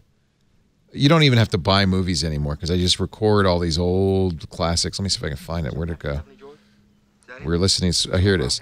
So I just I just look at the Turner Classic Movies schedule, and I see what's coming up. I'm going to stop that. Subject with roses. Oh, Viva Zapata. Let's say I want that. Press the plus button. Now I'll have a recording of it. Boom. That easy. That easy. they, they really did it well. But you raised an interesting point, Rene. They don't have locals. I'm sure they don't have Montreal locals. Do they have it in Montreal at US all? they do. I don't think they have it in Canada we have, at we all. have locals. I- We have locals in the Bay Area. right. So you you want to you want to go somewhere where there is uh there you know it makes more sense if you can get your live locals because then you're going to get the Oscars, you're going to get the Super Bowl. Actually, Super Bowl was blanked out on my phone. I had to watch it on a, yeah on my iPad phone. I think Verizon I has some sort Apple of TV. exclusive. But you could watch it. Yeah, you could you could AirPlay it. You could watch as long as you were watching on a TV. It was okay. I wasn't going to watch it, and then I saw a couple updates. Now that on my, this is on, on Apple watch, and I, was, I realized this is going to be like the best Super Bowl ever. Yeah. I better watch the. I want to watch like the second half. Oh, I don't want to miss the biathlon Nordic combined, so I'm just going to record that. There you go. Still get all the ads. I'm not saying you don't. You Yeah. do. They also point out just how terrible YouTube made their new Apple TV app, and just Is it please, please bad? beg them. It's, it's worse than the Amazon Prime app, which was an open Yeah, GL. that's what I was talking about. It's it. I don't think the It's- interface it's- itself is bad, but I think that the the interaction is horrible. Yeah, it's it's again. I think it's one of those cross-platform apps where they'd rather have fast and cheap than good, and that's surprising from YouTube. But it's It just was- it's we're just seeing so many It complaints. about literally it. gets stuck in a state where you can't select anything. And then I went out and looked around a little bit, made sure I could select everything else on, on Apple TV, and came back to it. No, you can't actually select on what you want to play. And I want to I want to just say that I, I think it's almost inexclu- excusable to make a bad Apple TV app because there's like TVML templates. If all you're doing is a video player, they even like give you these templates that you can use if you want to be lazy about it. Uh, but they Yeah. had to do and it's it not their just own and it's not just making these bad apps. It's like making it an inconsistent experience across platforms. Because people are I, don't know a lot of people that decide to buy all uh, uh, all apple tv gear is maybe the exception but it's so easy for someone to be using a different version of the two app. If they got five people in the house there's going to be three different versions three different platforms uh, in play at any given time. And when i switch from the android tv youtube tv player to the apple tv player to the phone player and have to deal with different i, I don't know where my watch list is. I don't know where my watch later list is I, am surprised that Google has not really made this a consistent experience across the platform. It's it's even worse when you realize how when you have a problem with a, a, a product made by Facebook or Apple or Microsoft or Google, you wonder do these people not have enough resources to do a proper job of this? Do they need to hire some people to do this? No, they don't. They've got money, they've got time, they've got people. Why not actually create a great version of your product? I have to admit, I'm so modal, I don't even notice it because I, I, you know, my, like my, there was a really good TV, TV is just is just on the TV, and then my, and then I watch movies on my iPad, and I don't really watch anything on my phone anymore. I just there was a really good study about because uh, there this is a huge concern in the design world whether you make it like it's a Firefox thing. Like, do you make Firefox look the same on every um, on every platform, or do you make it suit er, the, specific platform that it's on? And what's more important, your brand or the platform feel? And what they've found, at least according to the study, and I'll try to find the link for it, is that most people aren't cross-platform. Most people don't have multiple versions of like they have Netflix on eight different things, but they they never watch it on anything but one. So if you make it work well, like if you make it fit with the behaviors of the platform, then people already know how to use it because they're using eight other apps on that platform that are that are well behaved, and they're not going to like their tablet is such a different mental context than their TV that it's okay if they're not similar to that. But the YouTube app has to work the way the Amazon Prime app works, the way the Netflix app works, the way the TV app works, and then no user has any problem with any of the software yeah. on their device. It's yeah, it's it's a different. I think it's a different thing with TV apps because I really don't think that any company has created a breakthrough paradigm for this. It's always up, down, left, right action, uh, and there is voice, but it's it's a sub. I don't know. I don't know anybody who uses that feature who is not currently at the second being filmed for a commercial for Verizon or for one of those products. and so uh, the, the big and the bigger problem is that I there are often times where I just don't even see the same paradigms being transferred from one place to another.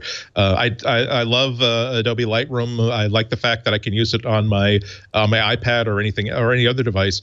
Uh, but I'm disappointed that I get the same experience on Windows as I do on the Mac. One of the reasons why I really loved using Aperture was that it really was designed by people who think in terms of the Apple user interface. It really does fit into the same world uh, it's it's a very like like in Star Trek where every single every, it's an alien from eight kajillion light years away, but he or she still has two arms, two legs, two eyes, a mouth, and a nose in the familiar places we're used to seeing them. Uh, and so when you wind when you wind up with a gelatinous blancmange alien, it's like I will still have you play on my Scrabble team. I'm you're good. You're good, Blancmange. I, I'm glad to have you here. Just realize that I'm going to have to. It's it's it doesn't fit in with the rest of the world that I'm living in. As of a couple of days ago, Apple uh, changed its address for the first time since 1993. If you go to the Apple uh, page uh, for uh, Contact Us, their new official address, it used to be one, what, greatest address ever, mm-hmm. right? One Infinite Loop. Um, this one's not so bad. One Apple Park Way. Cupertino, California 95014. They're still at one infinite loop. Yeah, the building's still there, but if you send if you want to send mail to Apple, send it Otherwise Eddie Eddy Cue is going to get all your mail. is Eddie stuck in the old campus? Well, I think iTunes is because right now iTunes is spread out. They have Results Way and they have a bunch of other campuses. Yeah. And I think they're going to try to unify, but I think they they already don't have space. I think they don't have space at Apple Park. No, now they don't have space at Infinite Loop again. No, they're they're growing fast. Yeah, you you got to think though that that is I know that you can know in your head, oh, it's not it's not an insult, but to to see all your co your colleagues moving to the new campus and you're stuck in the old one. That's kind They're very organizational based. Like if there are or if there are teams that are split up, it'll be super annoying. But as long as it's like no, Eddie's, sure Eddie's group is in one yeah, place, I'm sure they're not doing I, that. Yeah. I think there's some advantages to the older one. I, I, I truthfully, one infinite loop was great. I, I, like the fact that it was really nicely integrated into a community where at, at times you feel as though you're if you go from one building to another you feel as though you're leaving a place and entering another place. Um, infinite loop excuse me, uh, the the spaceship campus is a little bit more of a compound feel to it. I think. I wonder. I wonder what it's going to be like to live to to live and work there. You know, twelve hours a day, five or six days a week, seven days a week, and during crunch time, when it's like I am. No, I know that when I when I when I wave to the parapets as I walk past the outer layer of the of the fortress, I know I've left the campus. Otherwise, I know that I'm still within the ring. What the, Yeah, the just look up from your phone. parking Watch out for the glass. If you look at the if you look at the the the uh, drone shots, the parking for the new campus is pretty far away from the from the building. You know, compared to the one in Luke, Bertino- where you park. Tino right said he lost, sir. Um, I'm just gonna just real quickly. I want to find uh, ScooterX, our chat mod, went to the shareholders meeting last week, and he has posted somewhere. I'm going to find the link for ScooterX. He's posted the um, pictures he took. He said it's really a beautiful campus. Uh, let's see. He wrote a nice little article about it, but where is? Uh, the uh, the photos link on Google Photos. I'm trying to find it. Oh, here it is. Here it is. Thank you, Scooter. It really is a, a. Now, ScooterX, you took this with the Pixel 2. I hope you're not going to. Uh, we're not going to have any You problems. get block here. tackled. Um, it, it really is gorgeous. He says there was music coming out of the ground. They have speakers, underground speakers. I love this roof too. We've seen these Yeah. amazing pictures before uh, of this of this roof, and and a beautiful. You've been here, Rene, so I apologize for boring you. Oh, that's beautiful. But uh, yeah, there's there's Scooter's badge. He drove five hours, got up very early in the morning to go to this. There's the uh, the pneumatic tube that shoots you up to Delivers people all through the campus. like a, like Augustus Gloop. Oompa He's- loompa He's fallen into the into the iPhone mixing tank. So uh, I'm not sure how you got this special treatment, but he got a he did get a tour in a golf cart uh, around the grounds a little bit. So he did it. He was able to see some of the landscaping which is coming in. Here's uh, here's the reception in a Tantau. Well, that's not a Tantan. That's different. Yeah, Tantau's the road that Oh, okay. Should have been Tauntaun. Tauntaun. That's what I was thinking. Here's the. this is the visitor center, right? The little uh, reception area there, and they have. the Hiroshima chairs. I for, I never asked uh, Rene uh, what's the what's the accommodation for people with disabilities inside the theater. You know, I don't know because special was special assisting and, and assistive devices. Yeah, I, I actually don't know, and I'm I'm ashamed that I don't know, but I believe they have the elevators. ScooterX has a little ramps. trouble moving around. Did you, ScooterX? Did you get uh, did you get any special uh, access uh, treatment there? Were you able to? Obviously, he was able to get in. He says he was let in a little bit before the crowds. Uh, I'm sure they have an elevator that you can uh, get down in. He's not in a It's a- chair, but he's just. Accessibility in ADA is so it's so You have important to do it. Apple that You well, not only do you have it. to do it, it's so important Yeah. Apple that Yeah. I can't imagine that's not actually probably as I good. as believe you they could had seating too, like they had special seating. I'm sure they do. arrangements. Yeah. Matthew Roberts has been posting uh, drone videos of the Apple campus. Has a new job. He says a drone pilot crashed into Apple Park over the weekend. The drone pilot got in touch with me shortly after the incident to ask if I could assist in locating his down drone. So he took out his Phantom 4 Pro and began searching for it. This this is his search. Oh, there's the video of it crashing. This is like the snow speeders looking for Luke. So obviously it's not a Phantom 4. The quite not quite the 4K imagery we're used to.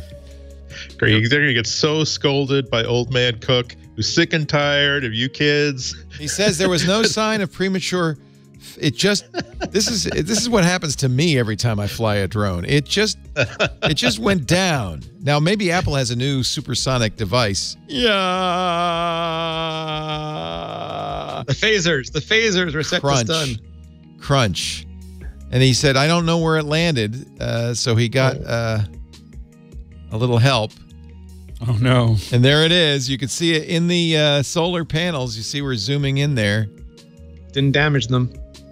No. I'm surprised a guard didn't run up there.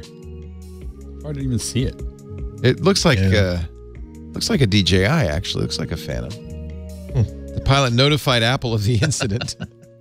and got a Um, stern er, talking to. Um, um, hello, Apple. It's me. I, I crashed My, my, name is it's Guy Billy from next door. Incognito. How do you get the footage back? I guess yeah, that was a live feed.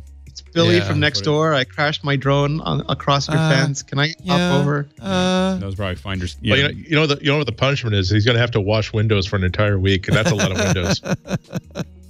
Till he learns his lesson.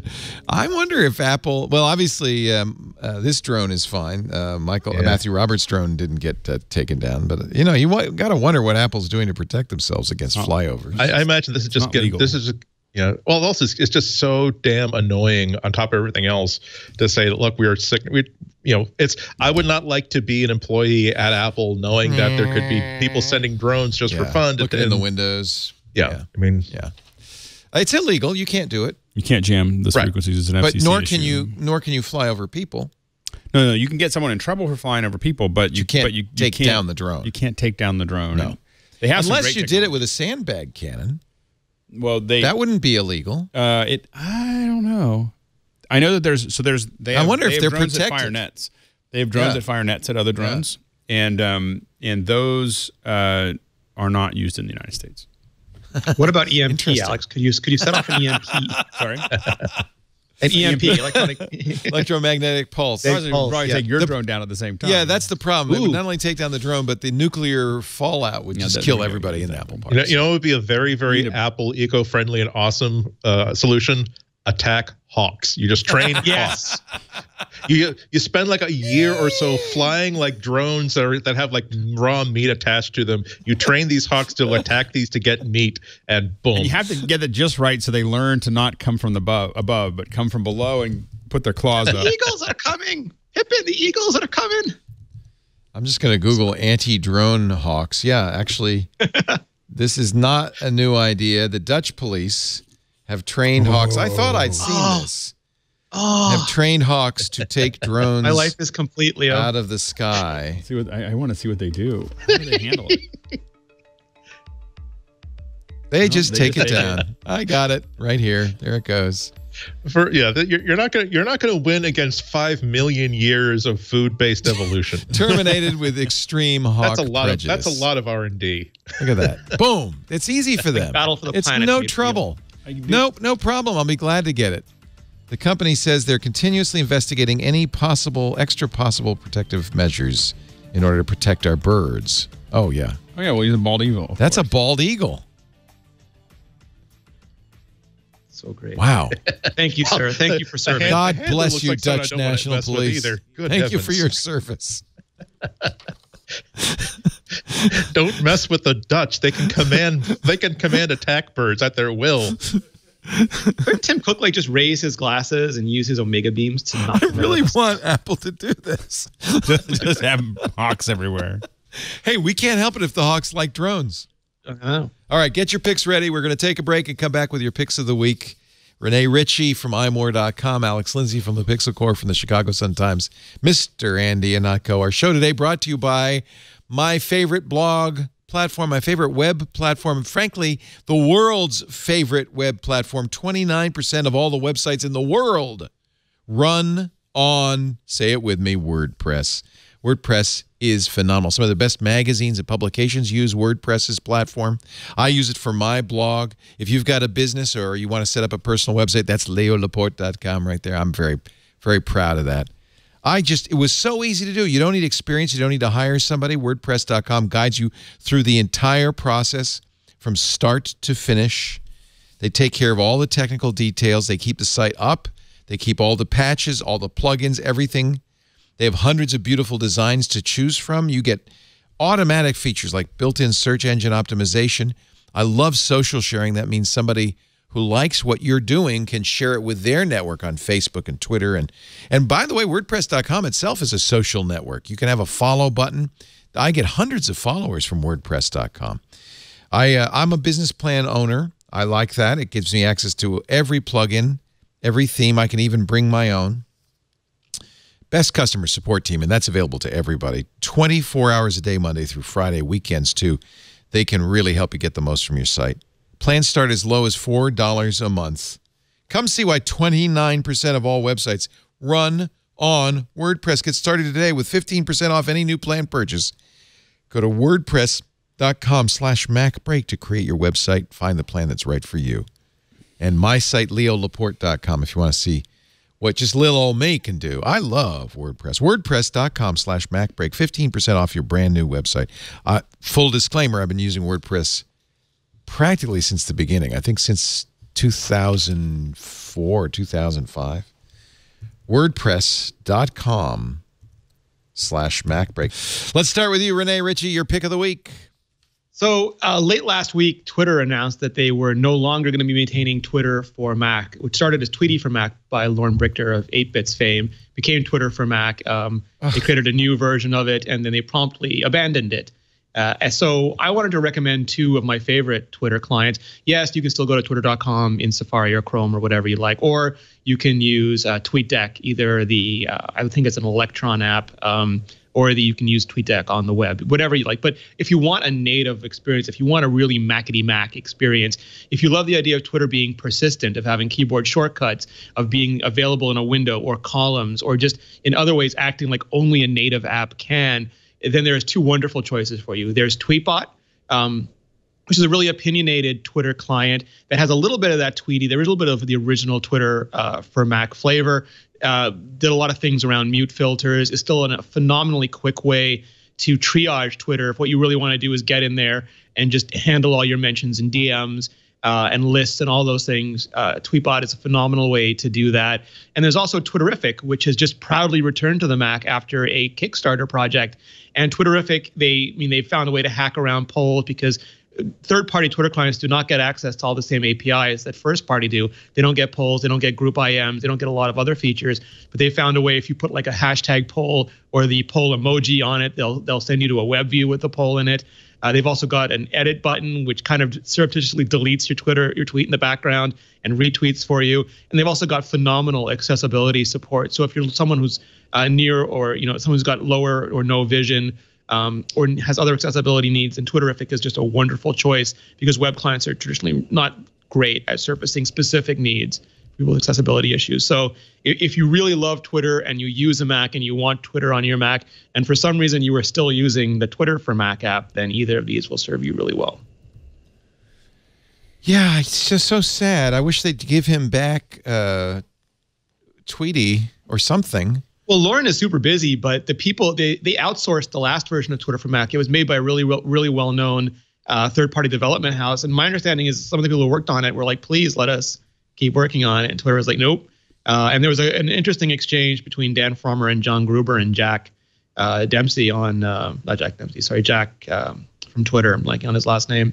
Uh, on Twitter, where he was saying we really want to invest in the experience of the web, but that's Twitter never felt like a website to me the way that Facebook or something does. It always felt like an IM client, and Yes. IM clients have always been best as native apps.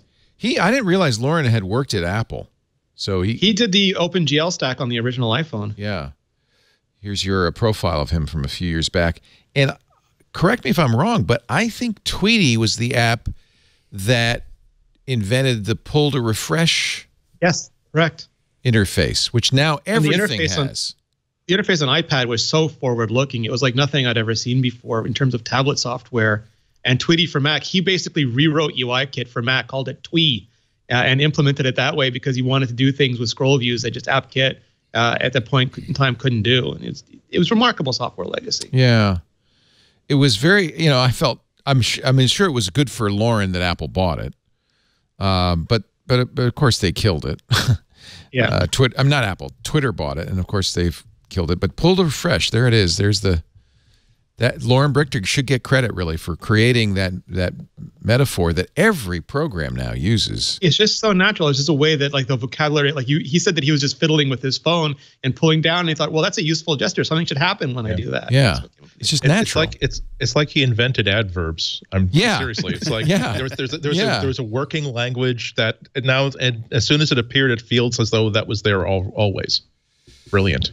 Uh, I'm sure that Loren got a nice payday, and I hope he did. Uh, and what's he what's he what's he doing these days? What is Atebits up to these days? you uh, he is busy working on some personal projects and you may or may not be able to see a brief visit from him on tomorrow's vector Oh, that's nice timing. How convenient.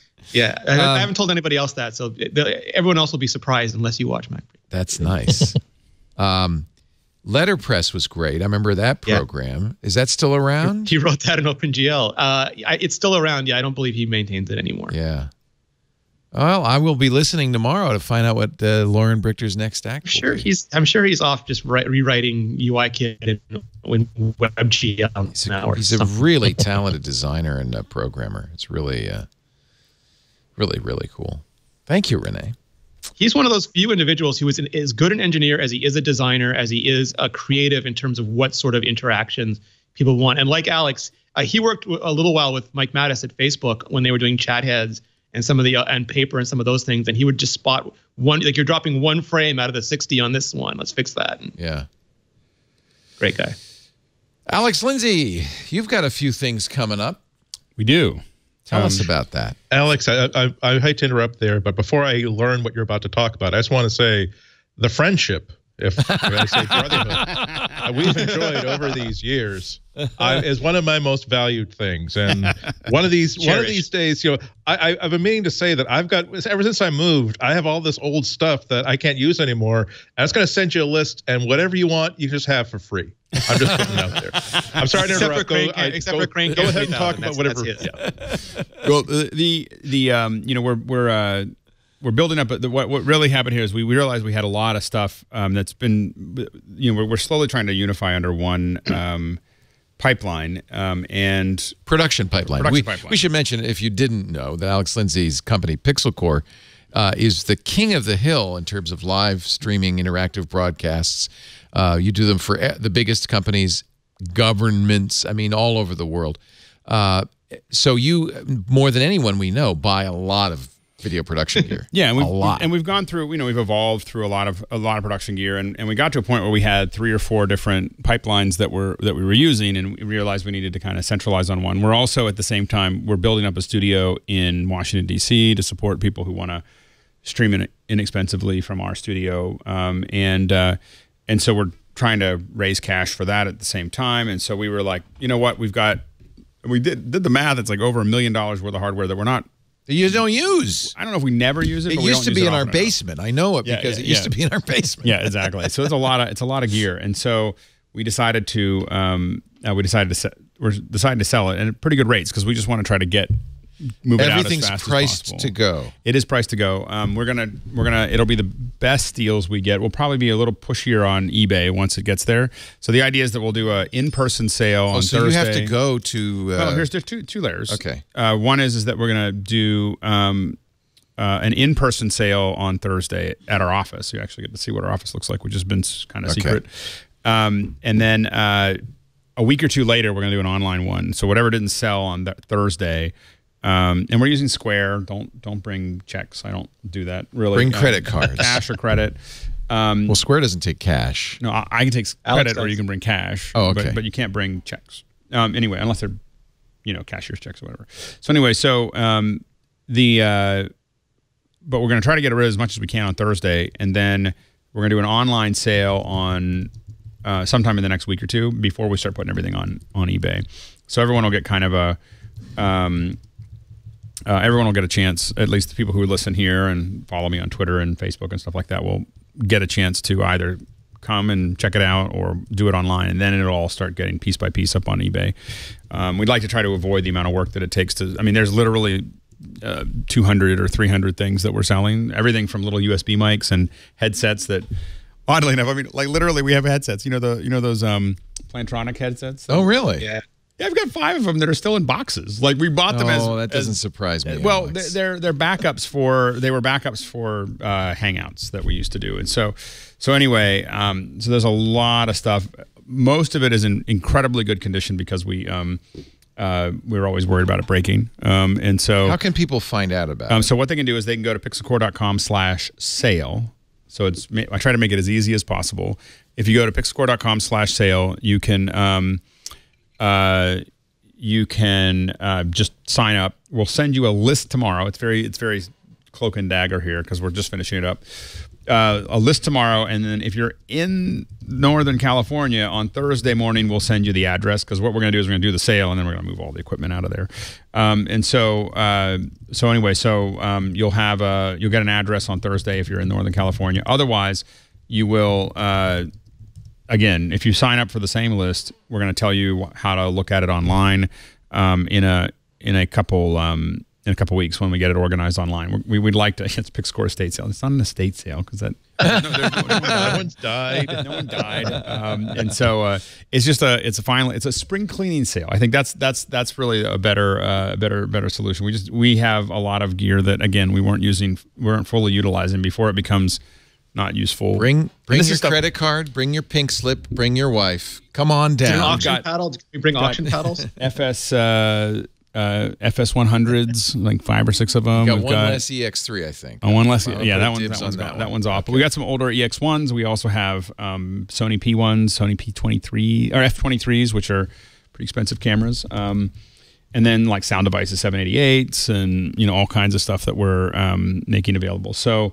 so a lot of this stuff uh, is not old. No no no. A lot of it's still in production. So yeah. so it's um and uh so and we've got just lots of lots of stuff that we're trying to move. And mixer somehow we have i don't know how, how we ended up with like 20 mixers but we have like a lot of some of them are digital some of them are analog. We've got little ones that are tiny and big digital ones and and um, but again we're trying to uh, um, tie that all together. So anyway, that's that's the sale, um, and uh, we'll uh, um, I'll, I'll, put it in the in the chat room there, so you can, people can get it there, and um, just sign up there, and we'll send you both updates for the in the room and then updates for the online sale that's coming up before we get everything on there. Um, anyway, so that's that, and then my pick of the week is really uh, the new Blackmagic camera. Oh, now we know what you're replacing all these other yeah. cameras. so the new Blackmagic camera. This is a uh, this is the, what's called the Blackmagic broadcast camera. Um, and this was like really for those of you in doing production. What what what Blackmagic added last week? I think it was last week or the week before. Is really the last missing parts that we had for broadcast, which is um, so this is a two thirds inch camera. Now you might wonder why we're going down to two thirds inch because we mostly, almost all of our work nowadays is Super 35. This is not 4K. It is 4K. Oh, it is 4K. Okay. So it's a 4K two thirds inch camera, um, and uh, and it also they've also added so it's great ENG camera, but they've also added fiber backs for it so that you you know so you can control it with a CCU. These are all things that are required for broadcast studios.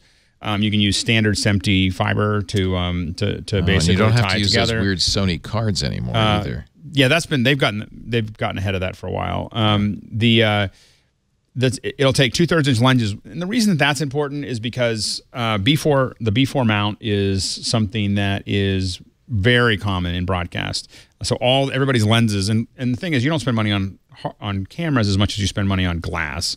So everyone's got you know, like a single lens is anywhere from fifteen to hundred thousand dollars just for the the glass.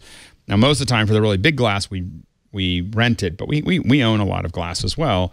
And um, getting that, you know, getting really good glass is the thing that um, uh, uh, is is complicated. And so no one wanted, you know, there's a lot of resistance to the to the other mini Ursas because you couldn't really get good um, you couldn't get you, you couldn't use your old glass on it effectively. So this is this is a two thirds inch chip that'll let you just use all the broadcast glass you already have.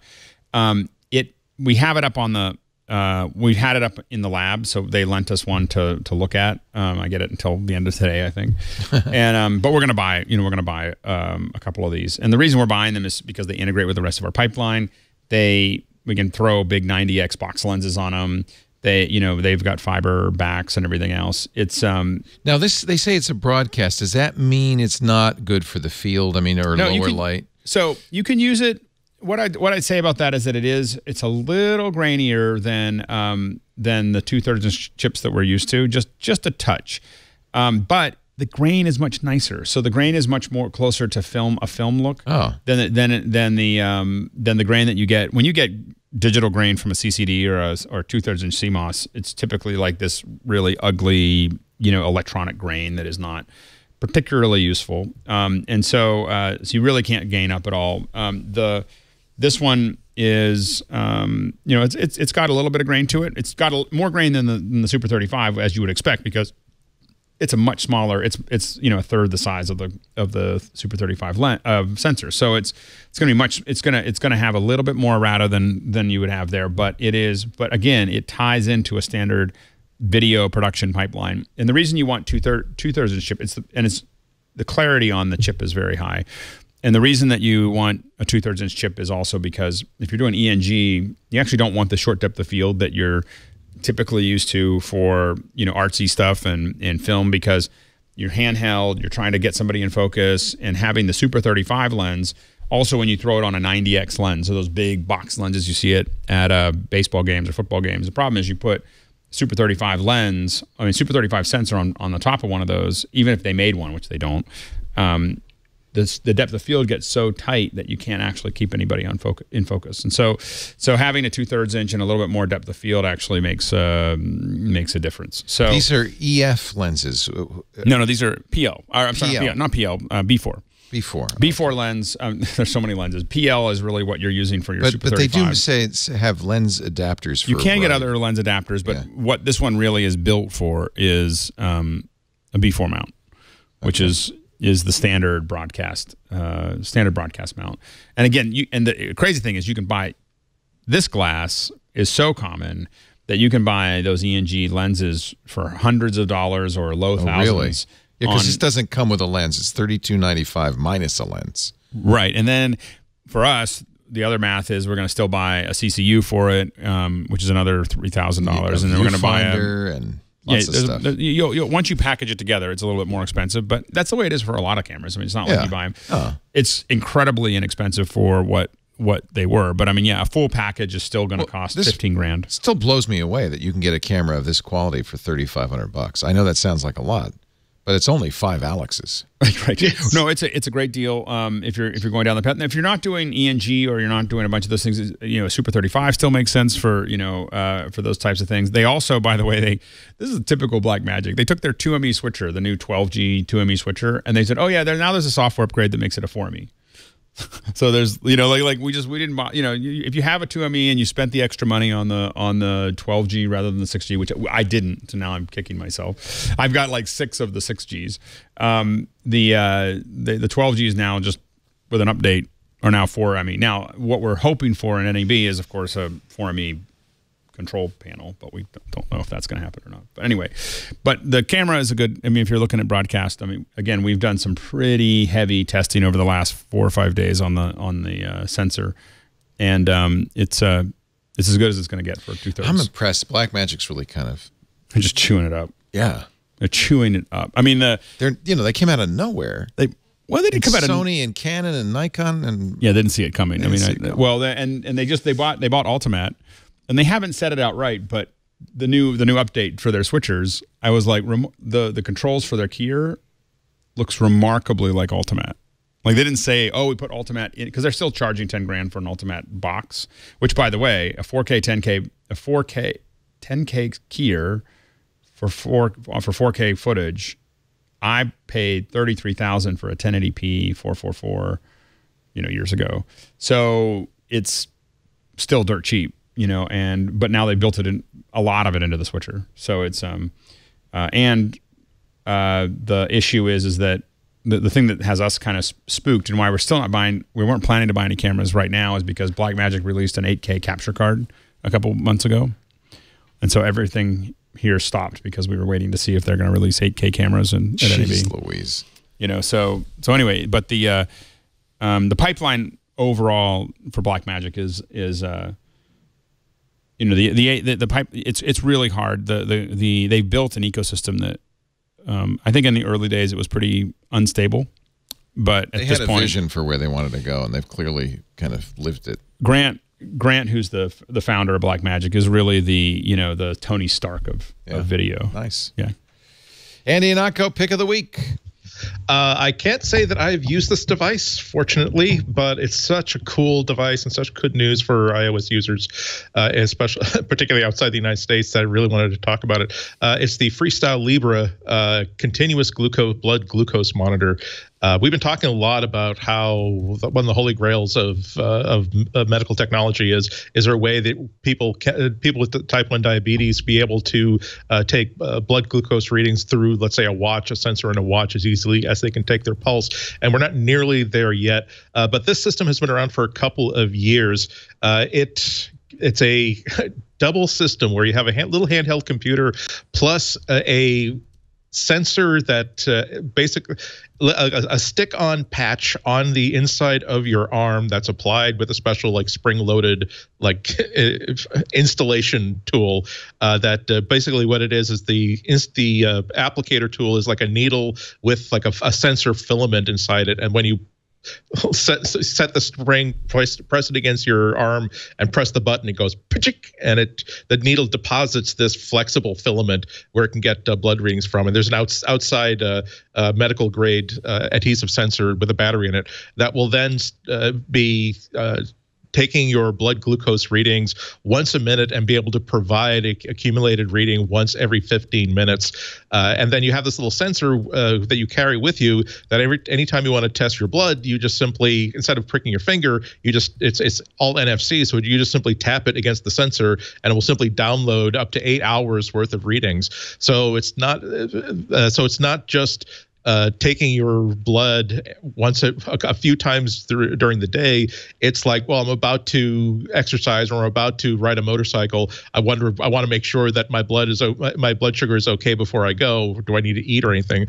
And immediately let you know here's what your blood uh, reading is like, and also being able to give you these continuous, again, once every 15 minutes of of uh, blood levels that the the device plus a desktop app can show you really fine grained data about what your blood level, sugar levels were doing over the course of the day. Uh, it, the device also lets you log what you've been eating, when you've been eating, when you've been sleeping, so you can really cor- get those things dialed down, really, really fine grained. Uh, again, thank goodness I don't have di- diabetes. I try work despite the despite the stuff I sometimes uh, tweet photos on on Instagram. Uh, I am working hard to make sure I avoid that. But uh, I was taking care of someone with type one diabetes, and it takes a long time to really figure out monitor very closely what these signs are and make sure that someone doesn't have uh, a problem that will uh, send them into a health crisis. Uh, and the idea of having this as a simple, simple single tap is an amazing thing. Now, the reason why it's uh, newsworthy and the reason why it's a piece of Apple news is that uh, Core NFC was introduced with iOS 10, excuse me, iOS 11, which was the first ability for third parties to get access to the NFC reader that uh, I, the uh, modern iPhones use to use Apple Pay. Uh, and so this is a, I believe the phone app is the first iPhone app that has been approved by the App Store that uses Core NFC. Uh, the bad news is that it, it's not available, for, although the, the hardware and the sensor and the little device and the desktop software is available in the United States. The phone, uh, the, the iPhone app is not available in the US yet, uh, but it's available in the UK. Uh, and it will certainly be, uh, barring any regulatory problems, I'm sure that's going to become available in the U.S. very, very soon. As one step closer, imagine the imagine Freestyle come up with a version of this that's like a low power Bluetooth, so it can actually can talk to your Apple Watch at all times. Uh, and I don't even believe the UK version of this app is working with HealthKit yet. But imagine this stuff being able to integrate into HealthKit apps. As it is, you can easily share your data with not only your medical professionals but if you have someone who is your caregiver, like if you're uh, if you're taking care of your mom or your or your husband or whatever, uh, you can have your app linked to this device so that you're getting these results too, so you can really see what's going on as easily as the person who's taking care of themselves can. Uh, and I, I have to admit, I wasn't aware of this until about a year ago uh, when uh, a one of my favorite YouTube sites, uh, Techmoan, which I've talked about before, uh, the Matt, the guy who runs Techmoan, uh, is a is a type one diabetic. He's been using the system for the past two years, and he uh, did a video about it about a year and a half, I think, ago. and when you see it in use, it really does seem like it is 2018, and medicine is starting to starting to move into the modern age. because again, the reason, I mean, again, I only have the experience of someone who's taken care of a type one diabetic as opposed to someone with diabetes themselves but you try to you try to balance the need for information about blood glucose levels with the pain and the interruption and the anticipation of taking blood readings when you actually have to again make your patient bleed, even if it's just a drop of blood. The ability to simply casually, whenever the moment strikes, whenever the whenever someone's feeling a little bit tired, or whenever someone's about to be away from their stuff for the next two or three hours, they want to make sure they're going to be okay for the afternoon.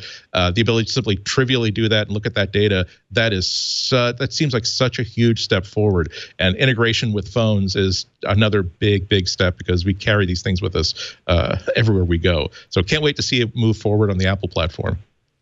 Yeah, this isn't the uh, non-invasive uh, blood readings; it's the holy grail, but it's Right. as close as you can get right now.